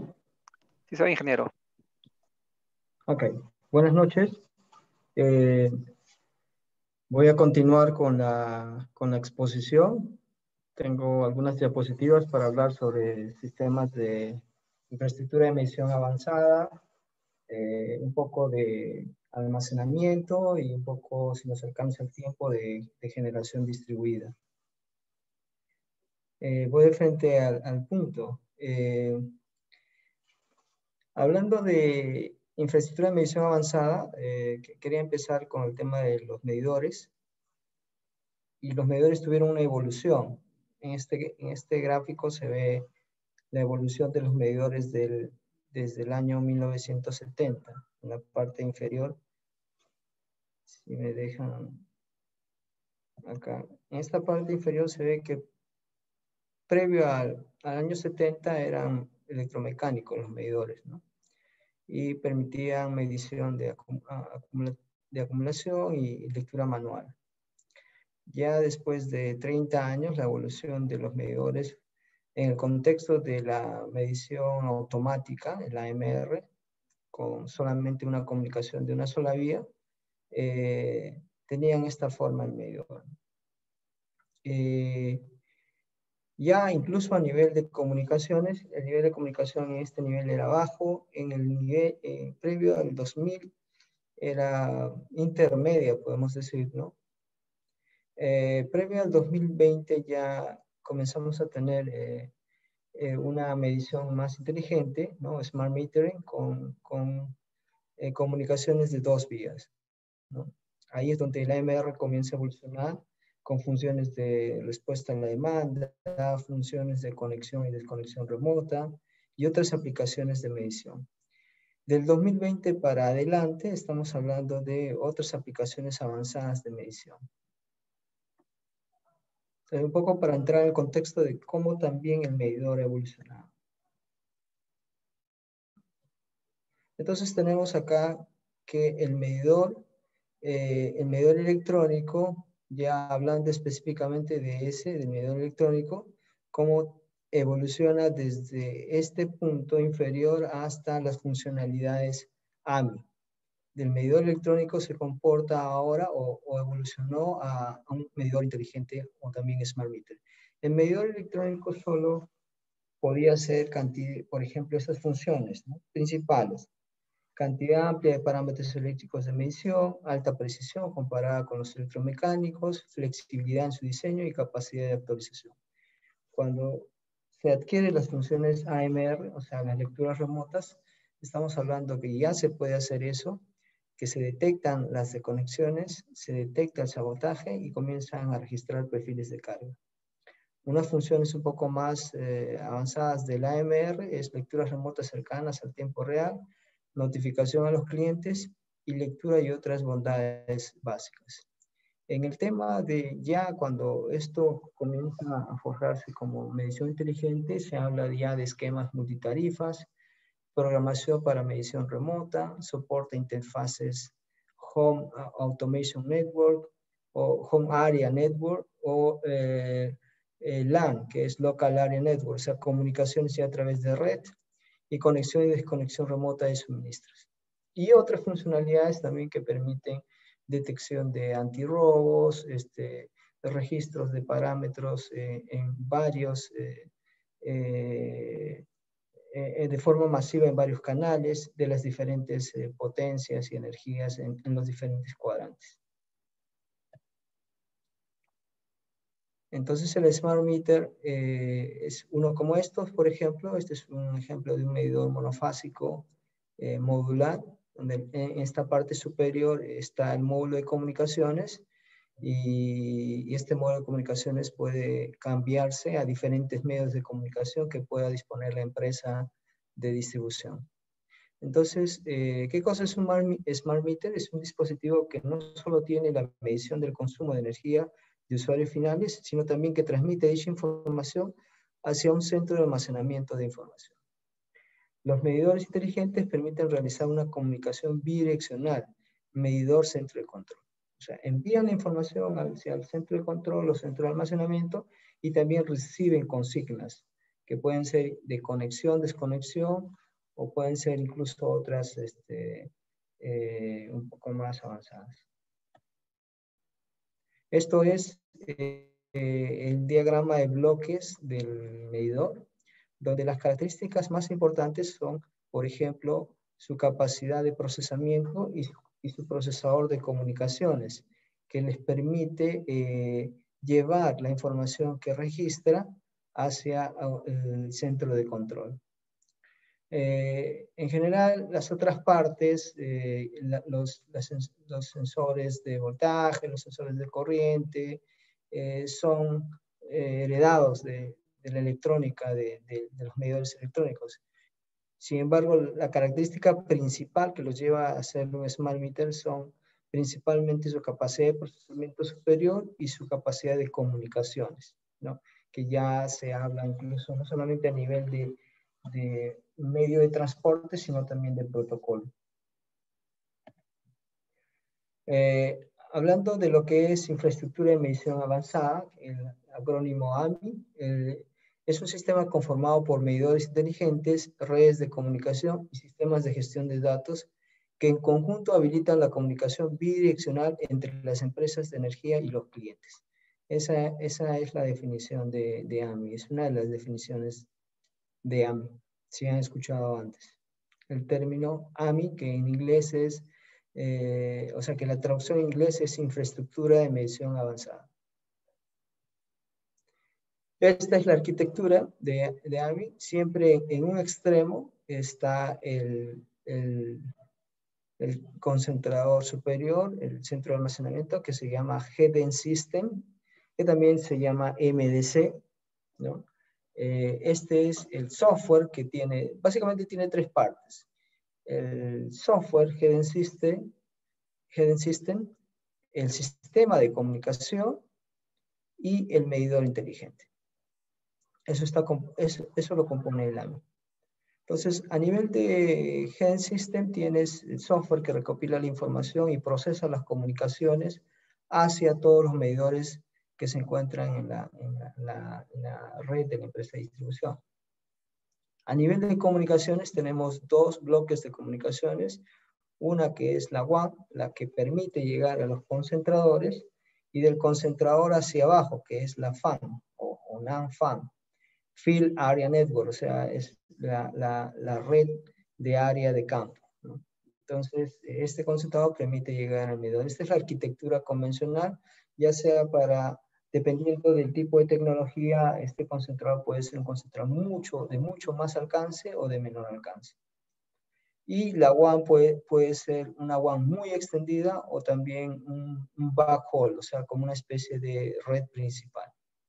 Entonces tenemos acá la arquitectura AMI y lógicamente después del Hidden System, la información se va a ir a un sistema eh, que registra la información y concentra y valida y estima y, y edita esa información llamado MDM. Entonces, hablando de MDM, se encuentra aguas arriba del Hidden System. Eh, el MDM es un sistema encargado de recolectar, validar, almacenar y administrar los datos de medición obtenidos, ¿no? Desde los sistemas GES o Hidden System, así como procesar dichos datos en información fiable y optimizada que pueda ser usada por otros sistemas de información, el de facturación, el sistema comercial, el OMS, que permite gestionar las interrupciones, entre otros. una de sus funciones principales es este acrónimo BEE, e, que significa validación, edición y estimación. En la recolección de datos que hace el Hidden System, no toda esa información puede ser, hay un cierto porcentaje dependiendo del medio de comunicación que no es información que es válida. Entonces, eh, lo que hace el MDM es la valida. Cuando esa información tiene que ser entregada, incluso puede editarla y estimarla hasta que vuelva a tener una información válida que, que se registre. Entonces, esa es la función principal del MDM. Esta es la arquitectura de, un sistema complejo dentro de una empresa de distribución, o sea, de, cómo interactúan los, las tecnologías de información que se encuentran dentro de la empresa. Entonces acá en la parte verde tenemos el MDM, que significa el Meter Data Management, ¿no? que interactúa con diferentes sistemas como el SCADA, como el, el sistema de información georreferenciado, con otros AMI. Eh, básicamente el MDM integra diferentes, puede integrar diferentes tecnologías de AMI, porque normalmente un AMI está asociado a un tipo de comunicación eh, y se interactúa con otros sistemas del sistema comercial eh, y otras partes de la, de la empresa de la red. Acá también está el OMS, por ejemplo. Entonces, esta es una arquitectura en donde en la parte superior tenemos al MDM, que interactúa, como dijimos, ah, eh, con el SCADA y el sistema comercial. Acá se muestra cuatro niveles de, de, comunicación, si podemos decir de esa manera. ¿no? El, MDM está en la parte superior, ¿no? es el nivel máximo, el nivel 3, si empezamos del nivel 0. En nivel 2 están los sistemas Hidden System o el software de gestión, ¿no? que en este caso, por ejemplo, si, si vemos esta, esta, parte en el lado izquierdo, eh, tenemos una comunicación con concentradores basados en radiofrecuencia. Entonces, esto integra medidores en radiofrecuencia, eh, los lleva a su concentrador y su concentrador es, entrega la información hacia el Hidden System asociado a esta tecnología de radiofrecuencia. Esta información se integra con una interfase al MDM. Acá como segundo punto tenemos otro, otro sistema Hidden System, otro AMI, que integra la información basada en, PLC comunicación, que utiliza la red eléctrica de media tensión y baja tensión como medio de comunicación. También son este, integrada esta información hacia un, un Hidden System, el cual también se integra y se interfaza con el medio. Asimismo, tienes otro sistema basado en comunicación celular eh, que permite también integrar esta información al MDM. Y el MDM es un gran concentrador de toda la información de medición y comercial de, la empresa eh, eléctrica. Hablando de tecnologías de comunicaciones que son parte de los AMI, eh, podemos hablar, podemos agrupar estas tecnologías en tres, en tres bloques. Una es eh, comunicación utilizando medio celular, eh, otra es eh, tecnología PLC y la tercera radiofrecuencia. Ah, usando celular, hay solo algunos países que utilizan celular porque los costos son, son bastante altos de desarrollar un módulo dentro del medidor y asimismo los costos operacionales yo conozco un caso este, en Europa que, que, donde la empresa, eh, el, país, en, todo caso el gobierno, es dueño de, de la empresa de, de comunicaciones, de, la operadora de comunicaciones, y solamente en ese contexto es posible usar este celular como medio por los costos. Entonces, se puede utilizar celular, eh, en tecnología PLC eh, tenemos dos grupos, el PLC Carrier y el PLC Com. El PLC Carrier utiliza eh, una, o sea, utiliza la red eléctrica, pero solo la parte de baja tensión, o sea, del transformador de distribución hacia aguas abajo.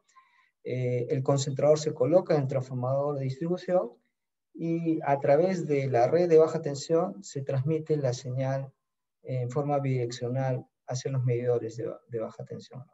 Utiliza una frecuencia diferente a la frecuencia de la red, una frecuencia alta, y este, eh, eh, llega en el ámbito, se utiliza un concentrador por cada transformador de distribución. Acá hay cuatro, vamos a hablar de cuatro, tres principales este, eh, grupos de, iniciativas o de estándares este, de facto. Eh, una es G3, ¿no? la otra es Prime y la otra es Meters and More. En el caso de PLC-COM, eh, hay dos tecnologías que utilizan eh, toda la red, o sea, el transformador, o, sea, la, parte de media tensión y la parte de baja tensión.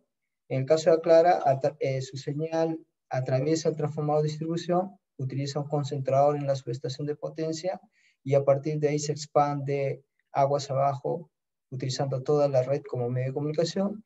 Y en el caso de la tecnología ah, Tower Tool eh, de Landy Sangir, eh, acá se movió este gráfico, este, utiliza interfaces en el transformador de distribución para transmitir la señal desde media tensión a baja tensión. Eh, ya hablando de radiofrecuencia, hay dos tipos, dos grupos, dos subgrupos principales. Una es mesh, que significa una especie de red, y punto multipunto, ¿no? Y acá están los diferentes fabricantes en mesh, ¿no? Para el tipo. hay dos frecuencias principales que se utilizan en mesh y en punto multipunto, que son 900 eh, MHz y 2.4 GHz. Son frecuencias eh, principalmente no licenciadas. Entonces, cuando tenemos el PLC carrier de alta frecuencia, tú tienes el concentrador y el transformador de distribución, aguas abajo están eh, los medidores y utilizan la red de baja tensión eh, como medio de comunicación, transmitiendo una señal eh, en alta frecuencia. La, la, desventaja de este sistema es que es sensible a los cambios de impedancia de la red, entonces necesita en muchos casos atenuadores y, y, es afectado por, por, los cambios en la red de distribución. Eh, aguas arriba del concentrador, esto se va a través de un medio de comunicación diferente. Ese medio puede ser celular. Normalmente se utiliza celular porque si no obligaría a la empresa eléctrica a desarrollar una infraestructura de comunicación también tan grande eh, que les permita llegar a, su sistema, a sus transformadores de distribución. Y de ahí va al, sistema de control en donde eh, tienen, se instala el Heading System. En el caso de PLC-COM, eh, PLC baja frecuencia, eh, la arquitectura tiene tres partes también. Tiene el, el concentrador, eh, perdón, el software, el Hidden System. tiene el concentrador que se llama este, Substation Communication Equipment, o sea, SCE, que básicamente es un transformador de distribución con dos, con dos concentradores de comunicación que se acopla a la red de media tensión y a partir de ahí usa todo el medio de comunicación aguas abajo, sea de media tensión y de baja tensión, para llegar a medio. Entonces son tres componentes, el Hidden System, el software, el concentrador en la subestación de potencia, que se acopla a la salida de la barra de media tensión, y el medidor eh, inteligente, que tiene el módulo de comunicación y que le permite llegar a responder acciones de control y desconexión. Eh, esta, este es el software que, eh, perdón, este es la, el, el, equipamiento de comunicación en la subestación que se utiliza en la tecnología que mencioné. Básicamente es un transformador de media tensión y dos equipos de comunicación que le permite acoplarse a la red eh, eléctrica y transmitir la información desde el centro de control hacia la red eléctrica. Esta, este concentrador les permite llegar hasta 50.000 endpoints. Cada endpoint puede ser un medidor o un equipo, un dispositivo de la red, ¿no? que pueden ser eh, eh, recloser, luminares de alumbrado público, este, indicadores de falla, este, reguladores de voltaje, eh, controladores de capacitores, etc. Eh, esta es otra tecnología, hablando de radiofrecuencia, es radiofrecuencia de corto alcance, básicamente igual, te maneja un colector parecido al, al, tema de PLC carrier de alta frecuencia. Eh, tienes tu un, concentrado, un colector, y ese colector tiene un alcance de un kilómetro aproximado, llega en radiofrecuencia, generalmente 900 MHz, eh, y aguas arriba de él se envía vía celular hacia el centro de control. Eh, radiofrecuencia de largo alcance es el, otra, la, otra, la otra tecnología eh, este, que es más conocida como LP1. Eh, hay diferentes tecnologías, pero la más enfocada a sistemas eléctricos que hemos visto desde hace años es la tecnología RPMA. Y RPMA es un, está basado en un estándar, el 802.15.4. Tiene estas características. Tiene una cobertura bastante grande, tiene una capacidad de red más mayor, este, consume menos, eh, o sea, es más baja potencia para transmitir y una mayor sensibilidad. Eh, tiene mayor vida en las baterías y, y utiliza una banda libre de 2.4, que es una... En, 2.4, a pesar que esa, esa frecuencia está, se usa mucho, eh, eh, utiliza una tecnología que le permite lidiar con las interferencias que se generan en esa, misma frecuencia. Esta es su arquitectura, tiene un concentrador y este concentrador eh, permite llegar a diferentes dispositivos en la, red, que pueden ser no solamente los medidores, sino incluso hasta medidores de agua y otros dispositivos dentro de la, de la, de la misma red. Acá incluso se muestra a vehículos eléctricos o a cargadores de vehículos eléctricos. Eh, estos concentradores después se unen por un medio de comunicación llamado backhaul, que puede ser este, eh, diferentes medios, pueden ser desde eh, enlaces de radiofrecuencia este, punto a punto, o punto multipunto, ¿no? Eh, que los permite llevar al centro de control en donde se instala el Hidden System. Eh, la ventaja de, que, de esta solución es, es un tipo de ecosistema que permite no solamente eh, utilizar diferentes marcas de medidores, sino también utilizar un ecosistema de equipamientos eh, diferentes a los medidores, ¿no? Por ejemplo, acá tenemos indicadores de falla, tenemos el monitoreo de interrupciones de subterráneas, detectores de flujo, monitoreo de flujo en agua, ¿no? Eh, etcétera, ¿no? dispositivos de medición de, de transformador, luminarias de alumbrado público, aplicaciones incluso de agricultura, sensores de agricultura para sensar la humedad del, terreno, entre otras cosas que se van desarrollando entre, en ese ecosistema de comunicación.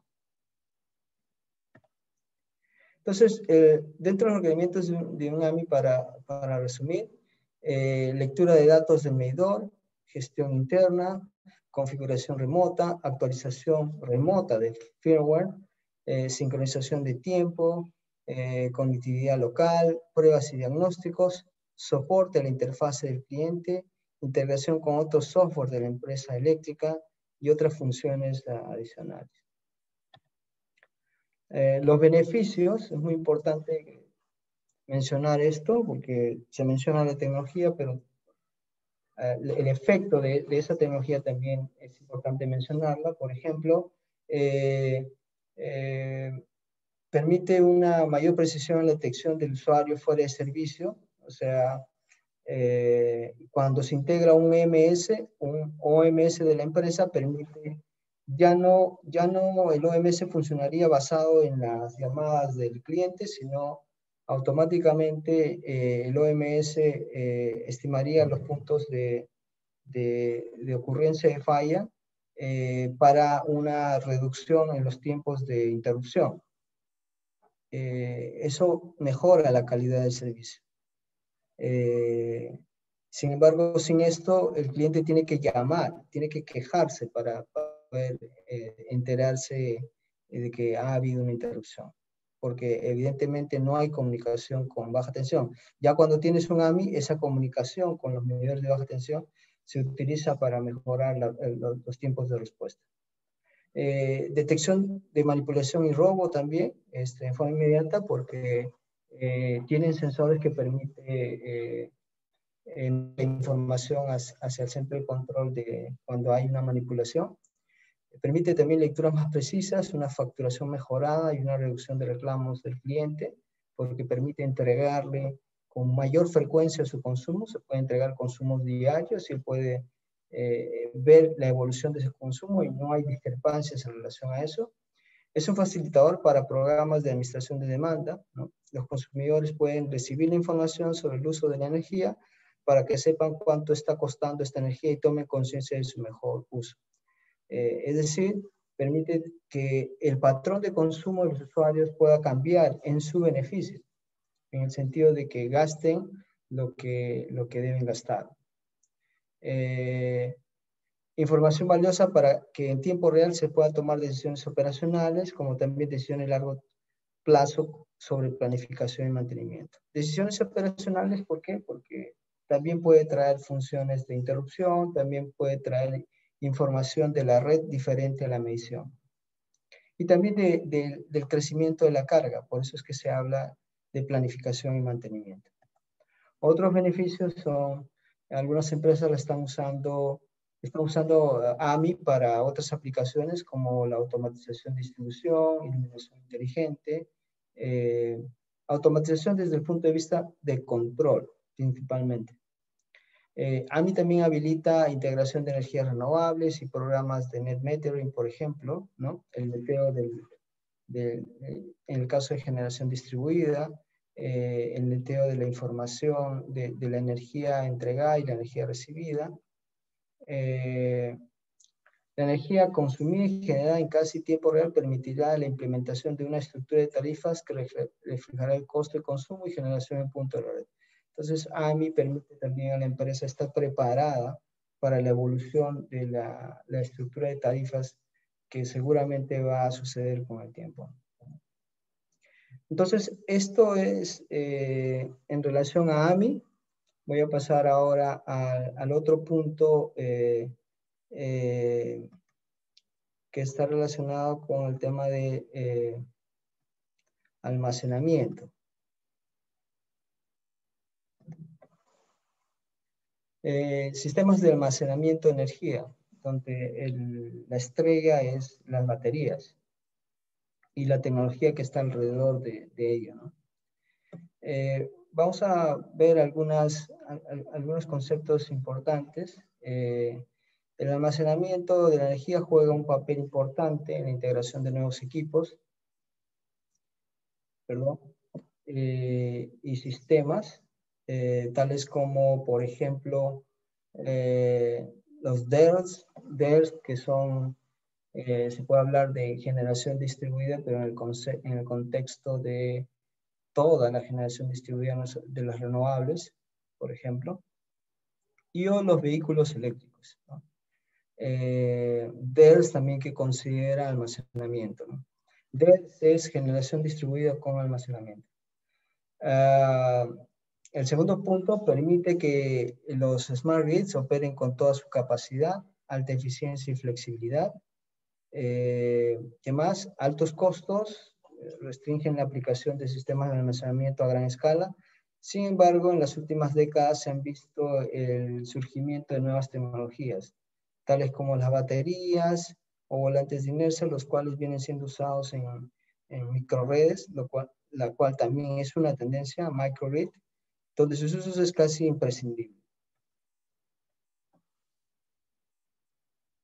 Entonces tenemos acá, perdón, eh, casos de éxitos. Uno es eh, California, por ejemplo, eh, basado en esta ley que impulsó eh, el AB 2514, ¿no? Con el fin, el objetivo de esto fue, ¿qué cosa? Reducir la emisión de gases de efecto invernadero, reducir la demanda de pico de generación eléctrica, aplazar o sustituir la inversión en activos de generación, transmisión y distribución, eh, mejorar la confiabilidad de operación de las redes eléctricas de transmisión e distribución. Eh, fue un caso de éxito en California. Eh, otros casos son el gobierno de Australia, que ha invertido en dos proyectos bastante grandes ¿no? en el sur del país. Estamos hablando de baterías que ocupan, que, que forman 100 megavatios ¿no? y dan una autonomía de 129 megavatios hora y Victoria, que tiene 100 megavatios también, de una capacidad que no, está determinada, determinada. Así como Inglaterra, quien ha invertido cerca de 246 eh, millones de libras esterlinas en investigación. Eh, funciones, las funciones, por ejemplo, una de las funciones para la cual se utiliza el almacenamiento es para regulación de la frecuencia. Eh, convencionalmente, ante un aumento de la frecuencia, los equipos de almacenamiento descargan su energía a fin de que sustituyan la energía rotativa usada para regular, o sea, generadores convencionales. La misma lógica puede ser aplicada para el caso de disminución de la frecuencia. Entonces, para regulación de la frecuencia, la, batería se comporta en, una herramienta bastante potente y efectiva. Eh, tradicionalmente la regulación se realiza con centrales hidroeléctricas o térmicas, sin embargo esto no es muy óptimo por un tema ambiental y económico. Ante ello, el uso de equipos de almacenamiento de energía para regular frecuencia resulta más atractivo y de hecho es una de las funciones principales del almacenamiento a gran escala. Reserva rotante es la, la, otra aplicación.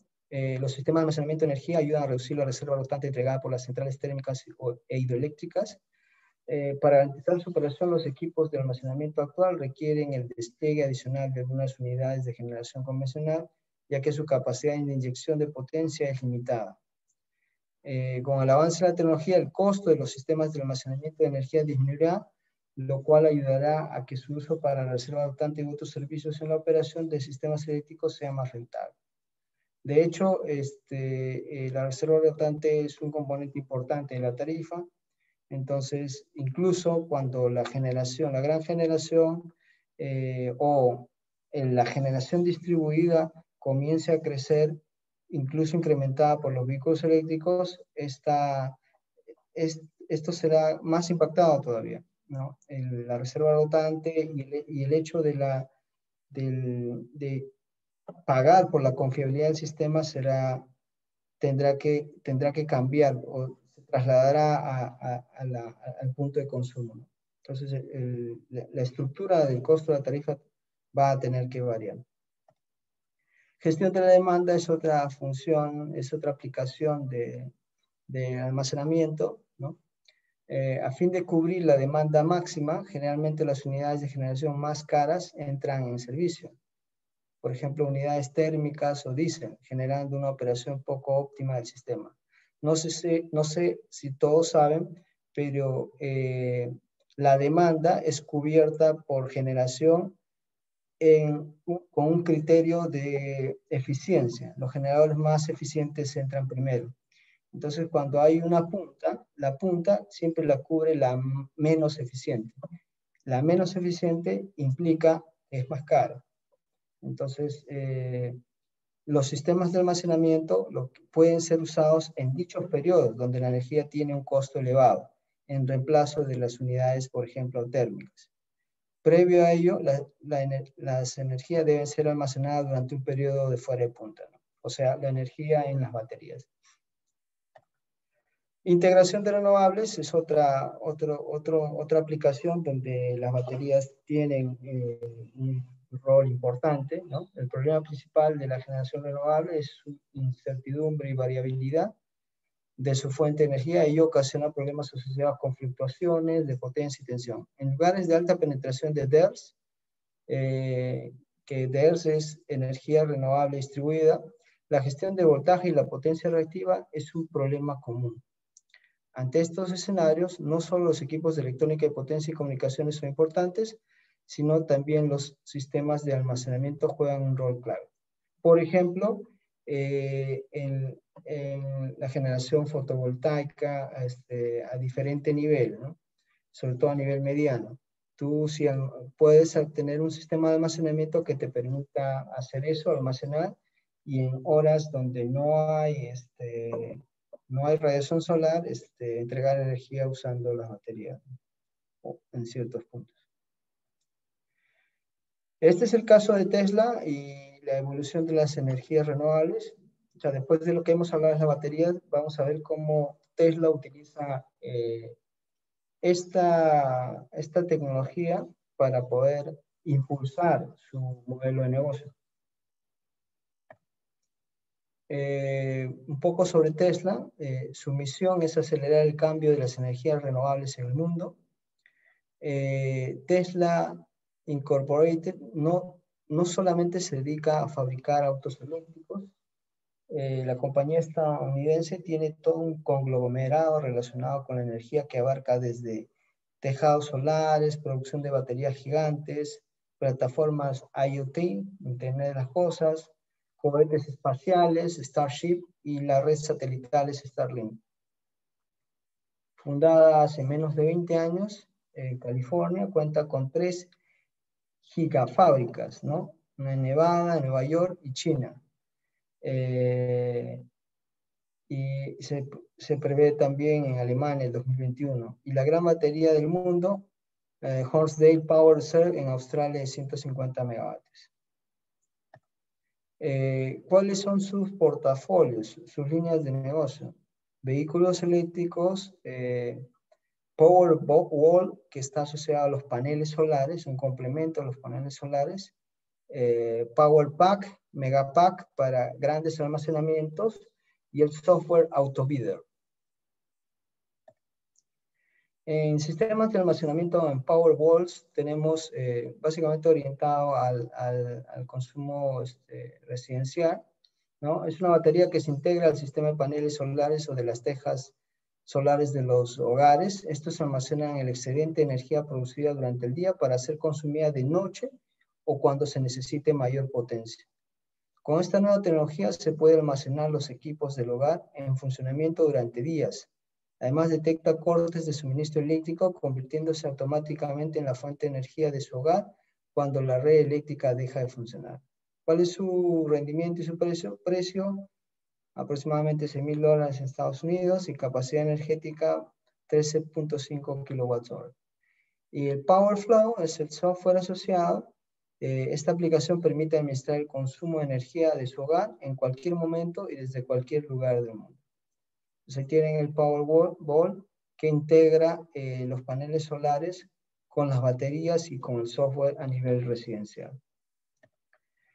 PowerPacks que es un dispositivo de alto rendimiento para la red eléctrica dirigidos a clientes comerciales y proveedores de energía, por ejemplo, empresas de distribución, empresas de servicios públicos, brindando un mayor control, eficiencia y confiabilidad en toda la red eléctrica. Pueden cargarse cuando los precios de energía son bajos y descargarse durante los picos de demanda cuando las tarifas de los servicios públicos son altas.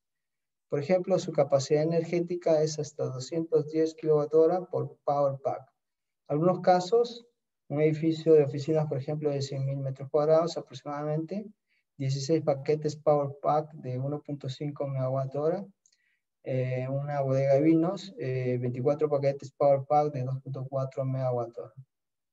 Estamos hablando de un, de un, enfoque un poco más industrial o gran, gran residencial. Eh, los Megapacks, ¿no? sistema de almacenamiento en baterías a gran escala, cada megapack viene ensamblado de fábrica con una potencia de, hasta 3 megavatios hora y puede conectarse directamente a fuentes de energía solar o eólica. Se pueden conectar varias megapacks para crear una batería de mayor tamaño con más de un gigawatt hora de almacenamiento. El objetivo de la megapack será reemplazar las centrales eléctricas convencionales que se ponen en marcha cuando hay una gran demanda de energía en ciertas regiones. Eh, por ejemplo, un MEAPA podría suministrar energía eléctrica a cada de la ciudad de San Francisco durante seis horas antes de agotarse. eh, es el tamaño bien grande. Y el Power Hub es el software asociado a ello. Es una plataforma avanzada de monitoreo y control para la gestión de recursos energéticos distribuidos, plantas de energía renovables y microredes. Eh, cubre todos los elementos comunes de los sistemas de control, supervisión adquisición de datos SCADA, tiene funciones SCADA, y ofrece personalizaciones estándares para satisfacer necesidades operativas de las plantas de energía pequeñas, grandes y virtuales. Y tenemos el sistema AutoBidder, el software AutoBidder. es un software específico para gestionar y comercializar la energía producida en la instalación. Es una herramienta que lleva un tiempo funcionando exitosamente en Estados Unidos y en el Hornsdale Power Reserve de Australia, considerada como la mayor batería del mundo. El AutoBidder se beneficia de inteligencia artificial y aprendizaje automático para ofrecer funciones como previsión de precios, previsión de carga o previsión de generación de electricidad y ofertas inteligentes, brindando a las personas oportunidad de vencer el exceso de energía a otras empresas. AutoBidder puede trabajar eh, directamente gestionando la batería eh, del vehículo eléctrico y si estamos hablando de que Tesla puede eh, gestionar miles de vehículos eléctricos, se puede, podría estar en ser un nuevo entrante en eh, la industria de la eléctrica, ¿no? Eh, como, como una especie de distribuidor con subestaciones móviles. Próximos eh, lanzamientos, eh, eh, por ejemplo, la batería de un millón de millas es una innovación que puede ser disruptiva, porque es una batería que tiene una vida útil de un millón de millas, la cual es, significan 16 años de autonomía. Esto pone fin a los conceptos erróneos que las baterías de vehículos eléctricos duran poco tiempo. El otro tema es las baterías sin cobalto, ¿no? Se prevé cambiar las baterías de iones de litio a fosfato de hierro y litio, LFP. Estas baterías en usar cobalto son más baratas de producir y tienen mayor durabilidad. Y el otro enfoque es eh, solicitud de licencia de servicios públicos, lo que mencionaba anteriormente.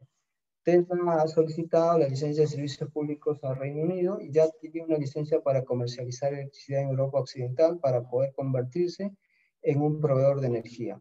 Con el software AutoBidder asegura que ofrecerá funciones como previsión de precios, previsión de carga o previsión de generación de electricidad. Eh, esto es en relación a lo, de almacenamiento. Y como último punto, eh, me gustaría mencionar el tema de eh, generación distribuida. Rápidamente, eh, ¿qué cosa es generación distribuida? Eh, me gusta más el concepto inferior, hay varias definiciones. Eh, el concepto inferior dice generación de energía a pequeña escala que típicamente está ubicada cerca a la carga, cuya propiedad podría ser de la misma concesionaria de distribución, un tercero o los consumidores. ¿No? La, la, Definición la parte superior es del, proyecto de norma, ¿no? instalación de generación conectada directamente a la red de distribución y que se subdivide en media generación distribuida y microgeneración distribuida. Eh, este es el sistema de potencia tradicional en donde el flujo de energía eh, va de izquierda a derecha, desde las centrales de generación hacia el usuario final y este sería el sistema de eh, potencia del futuro, donde aparte del flujo de energía, el power flow, tenemos un flujo de información eh, que ya va en varias direcciones. Y no solamente eso, el power flow también a través de la generación distribuida comienza a instalarse en diferentes puntos de la cadena de suministro anterior. Esta parte superior, esta flecha donde dice eh, recursos distribuidos que puede ser generación, almacenamiento, vehículos eléctricos a lo largo de la cadena de suministro actual. Eh, un poco hablar de la base legal que tenemos este, en el Perú, eh, ley de concesiones eléctricas, norma técnica de calidad, el 2006, eh, ley para asegurar el desarrollo del desarrollo eficiente de la generación eléctrica, el 2008, promoción de la inversión para la generación de electricidad, el decreto ley 2015-1221 mejora la regulación de la distribución de electricidad para promover el acceso a energía eléctrica en el Perú. Y el 2018, el proyecto de decreto supremo que aprueba el reglamento de generación distribuida. Este reglamento tiene eh, estas partes, disposiciones generales, el régimen aplicable a la mediana generación distribuida, el régimen aplicable a la microgeneración distribuida, eh, la solución de controversias y supervisión y fiscalización. Es un proyecto de norma, es una iniciativa, es, eh, el primer paso, eh, es positivo desde ese contexto. ¿Cuáles son las características importantes en esa separación de mediana generación distribuida a micro y microgeneración distribuida? Por ejemplo, en el caso del tipo de persona, en ambos casos es natural jurídica, la capacidad, hay un punto de corte que es 200 kilowatts, mediana es de 200 kilowatts y hasta 10 megavatios, y este, microgeneración es hasta 200 kilowatts. Eh, conexión a la redistribución en mediana es en media tensión, en micro es en baja o media tensión. El estudio de conexión eh, tiene que ser elaborado en el caso de la mediana por la empresa de distribución eh, o eh, elaborado por el interesado, ¿no? O la empresa de distribución, y en el caso de la micro es elaborado por la EDE. Los costos de la adaptación de las reinversiones, en ambos casos, es financiados por el interesado. La comercialización para usuarios regulados, eh, en mediana generación, puede vender la energía a EDE para usuarios regulados mediante contrato y suministro. Y en el caso de la microgeneración, no, no se permite la venta funciona con excedentes que generan un crédito utilizado a cargo del consumo en los siguientes meses, siendo el límite de un año. Y la comercialización para usuarios, usuarios libres, sí, mediante contrato de suministro y en el caso de la microgeneración no es permitida. Ese es el proyecto, está, es el primer paso, como digo, es positivo desde ese, desde ese punto de vista.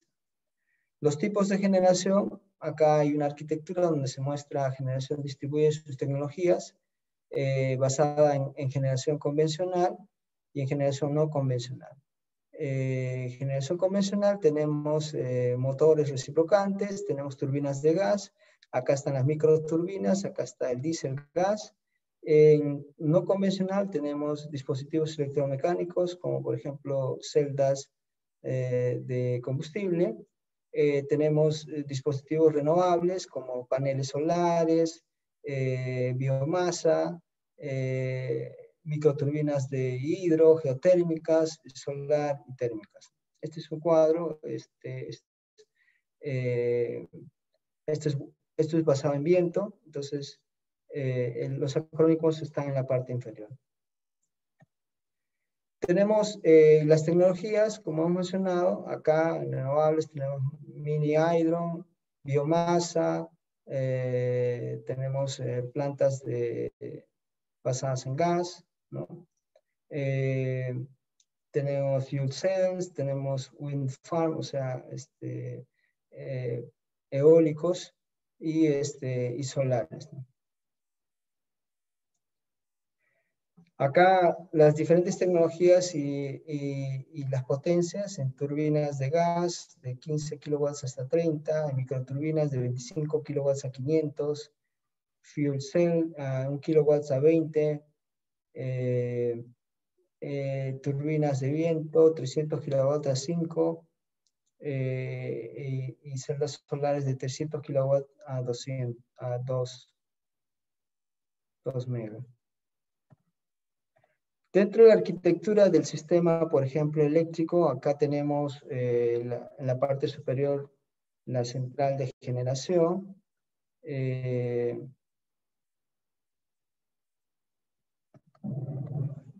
Tenemos eh, cómo se distribuye la electricidad, eh, la parte de distribución, la parte de distribución tiene su propia escala, y acá en la parte inferior tenemos la generación distribuida, por ejemplo, actuando cerca del consumidor. Bueno, de hecho, hay, hay, tenemos el vehículo eléctrico, tenemos paneles solares, tenemos sistema de almacenamiento, entre otras cosas.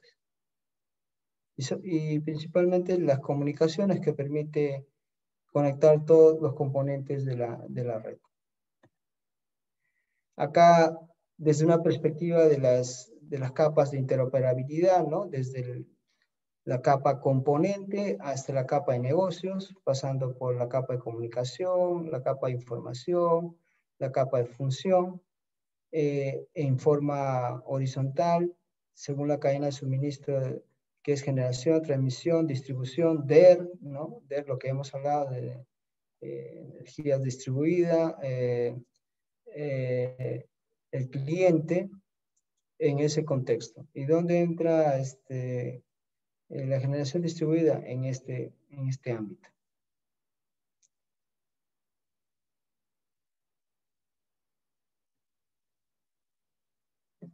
y por supuesto en, dentro del contexto de la red en las microgrids, que es un concepto más integral de generación distribuida.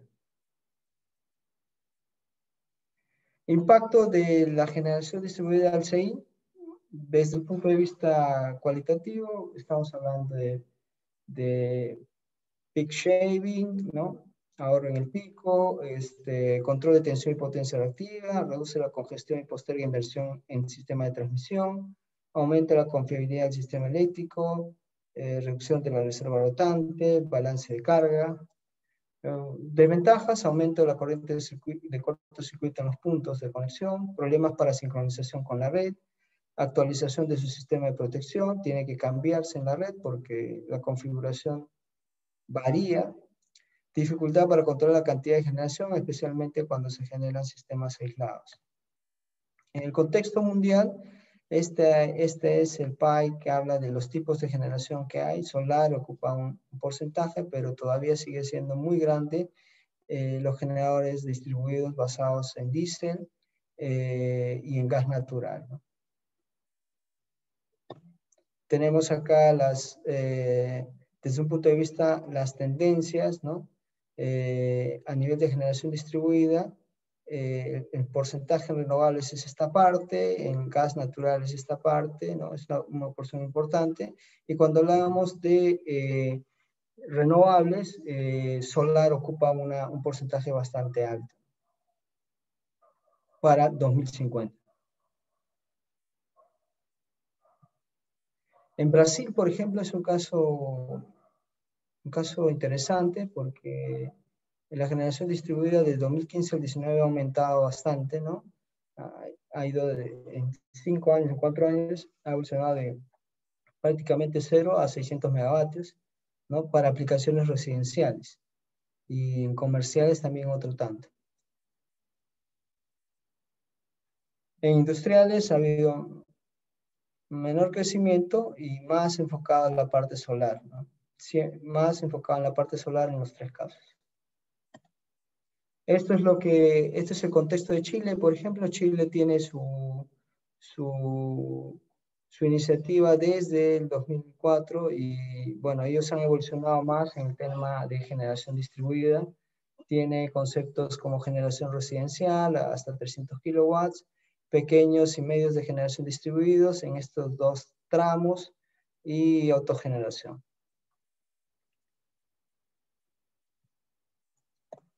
Hasta, este punto llego. Eh, Jesús, no sé si hay algo más, algunas preguntas.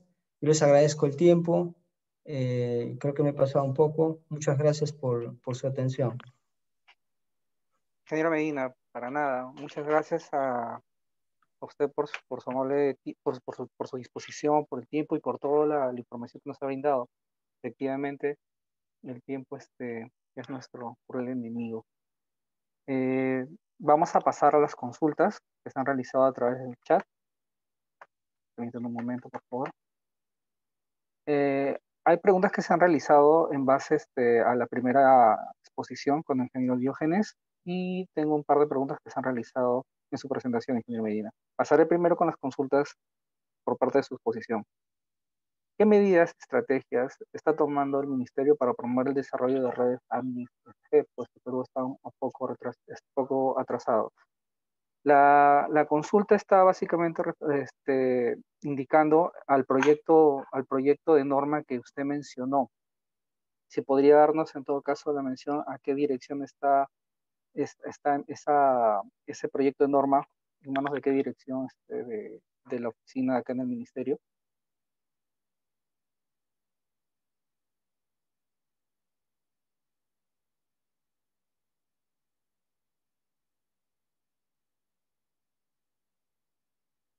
Ingeniero.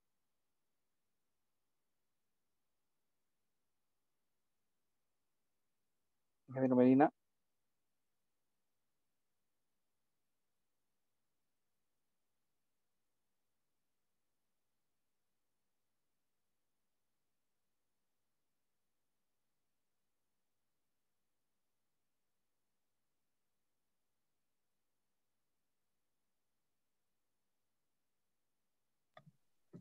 ¿Aló? Alejandro Medina. Sí, eh, perdón, sí te escuché, no, no, este, no podía poner eh, el micrófono activado. Eh, en relación a la norma de, de generación distribuida, este proyecto de norma se planteó, se hicieron comentarios, pero aparentemente el ministerio todavía sigue estudiando el tema. la recomendación sería que vean las experiencias que hay, especialmente en Chile, que, que, están más avanzados en, en, su, en la parte de la regulación. Han tomado experiencias de otros, eh, de otros países y, me parece que eh, han, han, logrado establecer una norma más, más completa. Entonces, eh, lo que sé del ministerio es que todavía siguen estudiando y el proyecto de norma, a pesar que establecía plazos, no, no ha seguido adelante, ¿no? No se ha convertido en una norma. Efectivamente, ingeniero, este, la, la, entidad encargada es la Dirección General de Electricidad, es la que está promoviendo este, este documento. Y es efectivamente la experiencia de Chile nos ha ayudado mucho a ver el tema, por ejemplo, de movilidad eléctrica, de medidores inteligentes, porque, porque sí, pues la matriz energética de Chile junto con su sistema está bastante desarrollado. Eh, como experiencia puedo comentar que su sistema de comunicaciones para mantenimiento es netamente remoto y es bastante rápido, práctico y es mucho más económico que el que normalmente nosotros tenemos en estos momentos. Eso lo podría, ser como, podría indicar como una experiencia.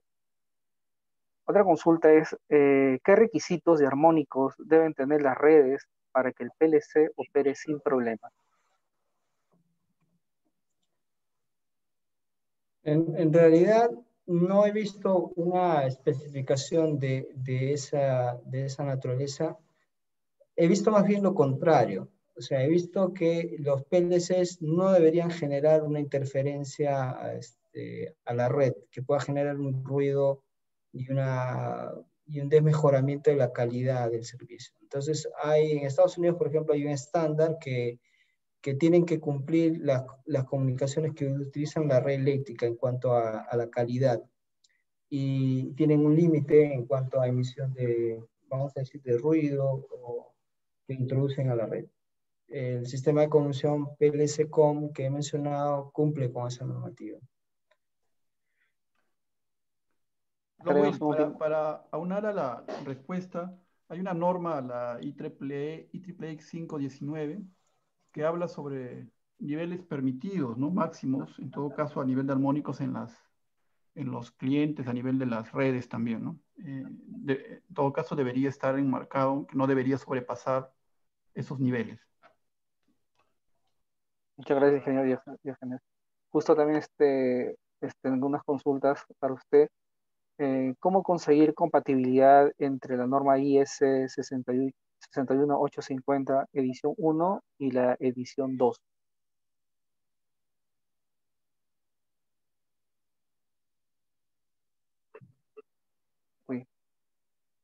Puedes, no, no puedo hablar. Listo. Ahora sí, ahora sí. Este, bueno, es, es un problema que, que, sí me he topado este, en algunas subestaciones cuando tengo relés o equipos con la versión 1 y otros relés con la versión 2. Y tengo la necesidad de integrarlos a un concentrador de subestación. Entonces, lo que sí este, nos hemos asegurado es que el concentrador, el cual va a recopilar la información de los relés en el protocolo 61850 MMS, tenga la posibilidad de esas dos versiones, ¿no? Asegurarme de que ese concentrador tenga la posibilidad de esas, de esas dos versiones para poder integrar tanto equipos en la edición 1 como en la edición 2. Porque sí he visto en algunas este, integraciones que he realizado, cuando quiero este, que dos relés, uno de la versión 1 y otro con la versión 2 intercambien información, he visto incompatibilidades ¿no? entre ellos. Pero sí, este, yo le recomendaría asegurarse de que el nivel superior, el nivel este del concentrador de subestación tenga la capacidad de que pueda manejar esas dos versiones para poder integrar este, relés, relés, medidores y EDs en general. Señor Diógenes, el protocolo IS 61850, ¿cómo se comporta en un enlace satelital? Ok, no, no, no lo he probado en un enlace satelital. Yo, yo entiendo, eh, las normas 61850 evidentemente está dentro de una subestación, ¿no? Generalmente están este, al entorno de una subestación de potencia. ¿Por qué? Porque este protocolo este, es pesado, ¿no? Es pesado comparado con DNP3 o IS-104, que es para envío hacia un centro de control. Este, mm, y, yo sí he probado satelital con estos protocolos DNP3 o IS-104, trabaja muy bien. No he probado con 850, pero yo creo que la clave aquí es el, tema del ancho de banda, ¿no? De, que podría, este, si por ejemplo envío este, eh, desde una subestación en 61850 es un centro de control, el protocolo MMS, por ejemplo, me va a consumir mucho, mucho ancho de banda este, eh, y por lo tanto no, no resultaría este, adecuado ¿no? utilizarlo este, para un envío satelital.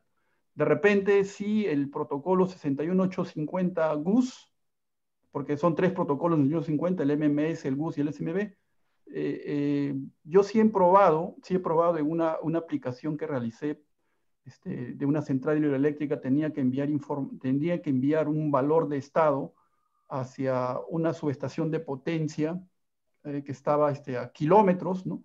Pero ahí utilicé el protocolo GUS, que es, que es menos este, pesado, ¿no? Que es menos pesado y funcionó muy bien, o sea, sobre un entorno WAN, sobre una red de fibra combinado con microondas, funcionó muy bien. El 61850 con GUS. Pude enviar la información de ese estado, de ese interruptor, este, a través de, pasando por todos los medios de comunicaciones hasta llegar al otro punto. Podríamos usarlo ahí, este, pero no el MMS, ¿no? El MMS sí es muy, muy pesado. Gracias, ingeniero Diógenes. También tenemos dos consultas más. Referente al modelo que mencionó, ¿el modelo podría gestionar también redes de distribución de gas natural y la demanda? El modelo del, este, del OMS, del DMS, bueno, está más pensado en redes este, eléctricas, ¿no? Eh, no, no, no conozco de, aplicaciones de, estos sistemas, este, OMS, DMS, para sistemas de gas. Eh, de verdad tendría, tendría que este, consultarlo. La última consulta es, ¿qué niveles de disponibilidad se deberían manejar en cada etapa? Ah, ok. Eh, los niveles de disponibilidad para aplicaciones, este, eh, por ejemplo, de eh, AMI, por ejemplo, en las diferentes etapas de lo que es este, las redes inteligentes, en, lo que es AMI, por ejemplo, niveles de disponibilidad del 90 y 98, 99% de disponibilidad, involucra un sistema este, AMI bueno, ¿no? Por ejemplo. A niveles ya de niveles superiores para aplicaciones como el DMS, este, OMS, y ahí sí requiere niveles de disponibilidad un poco más elevados, ¿no? de 99.9%, 99.99% para poder, este, eh, para que estos sistemas operen correctamente. Recordar que el DMS toma información de los eh, reclosers, de los este, reguladores de tensión, de, los bancos de capacitores, ¿no? para poder tomar decisiones, ¿no? en función al, flujo de carga que, el DMS calcula, poder maniobrar, por ejemplo, este, este, eh, reguladores, este, bancos de capacitores. Entonces, se necesita un buen nivel de confiabilidad, un buen, nivel de disponibilidad, perdón, de, de, las señales en el orden del 99.9% ahí, ¿no? Se eleva el nivel. Muchas gracias, ingeniero Diógenes. Ya no tenemos más consultas. Como dijo el ingeniero Will, el tiempo es nuestro peor enemigo. La Dirección General de Eficiencia Energética agradece al ingeniero Will Medina y al ingeniero Diógenes González por estas dos brillantes ponencias. Espero que las herramientas que nos hayan brindado tanto a nosotros como a los participantes sirva para, como mencionó el director general, para enriquecer nuestras capacidades y así poder fortalecer tanto nuestra normativa como nuestro desempeño día, día a día. Muchas gracias. Algunas ingenieros, este, Will, voy a dejar de que comparta la pantalla. Y voy a mostrar su correo. Eh, no sé si tienen algunas palabras, ingeniero Diógenes, ingeniero Medina agradecer eh, a la Dirección General de Eficiencia Energética, agradecer a, todos los participantes de, esta, de, esta, charla, de este taller, eh, y, muchas gracias, muchas gracias a ustedes. Bueno, de mi parte es un gusto compartir, es, de mi parte es un gusto compartir la información y eh, espero que les pueda servir y, y tienen nuestro correo eh, para cualquier duda, con toda confianza, por favor.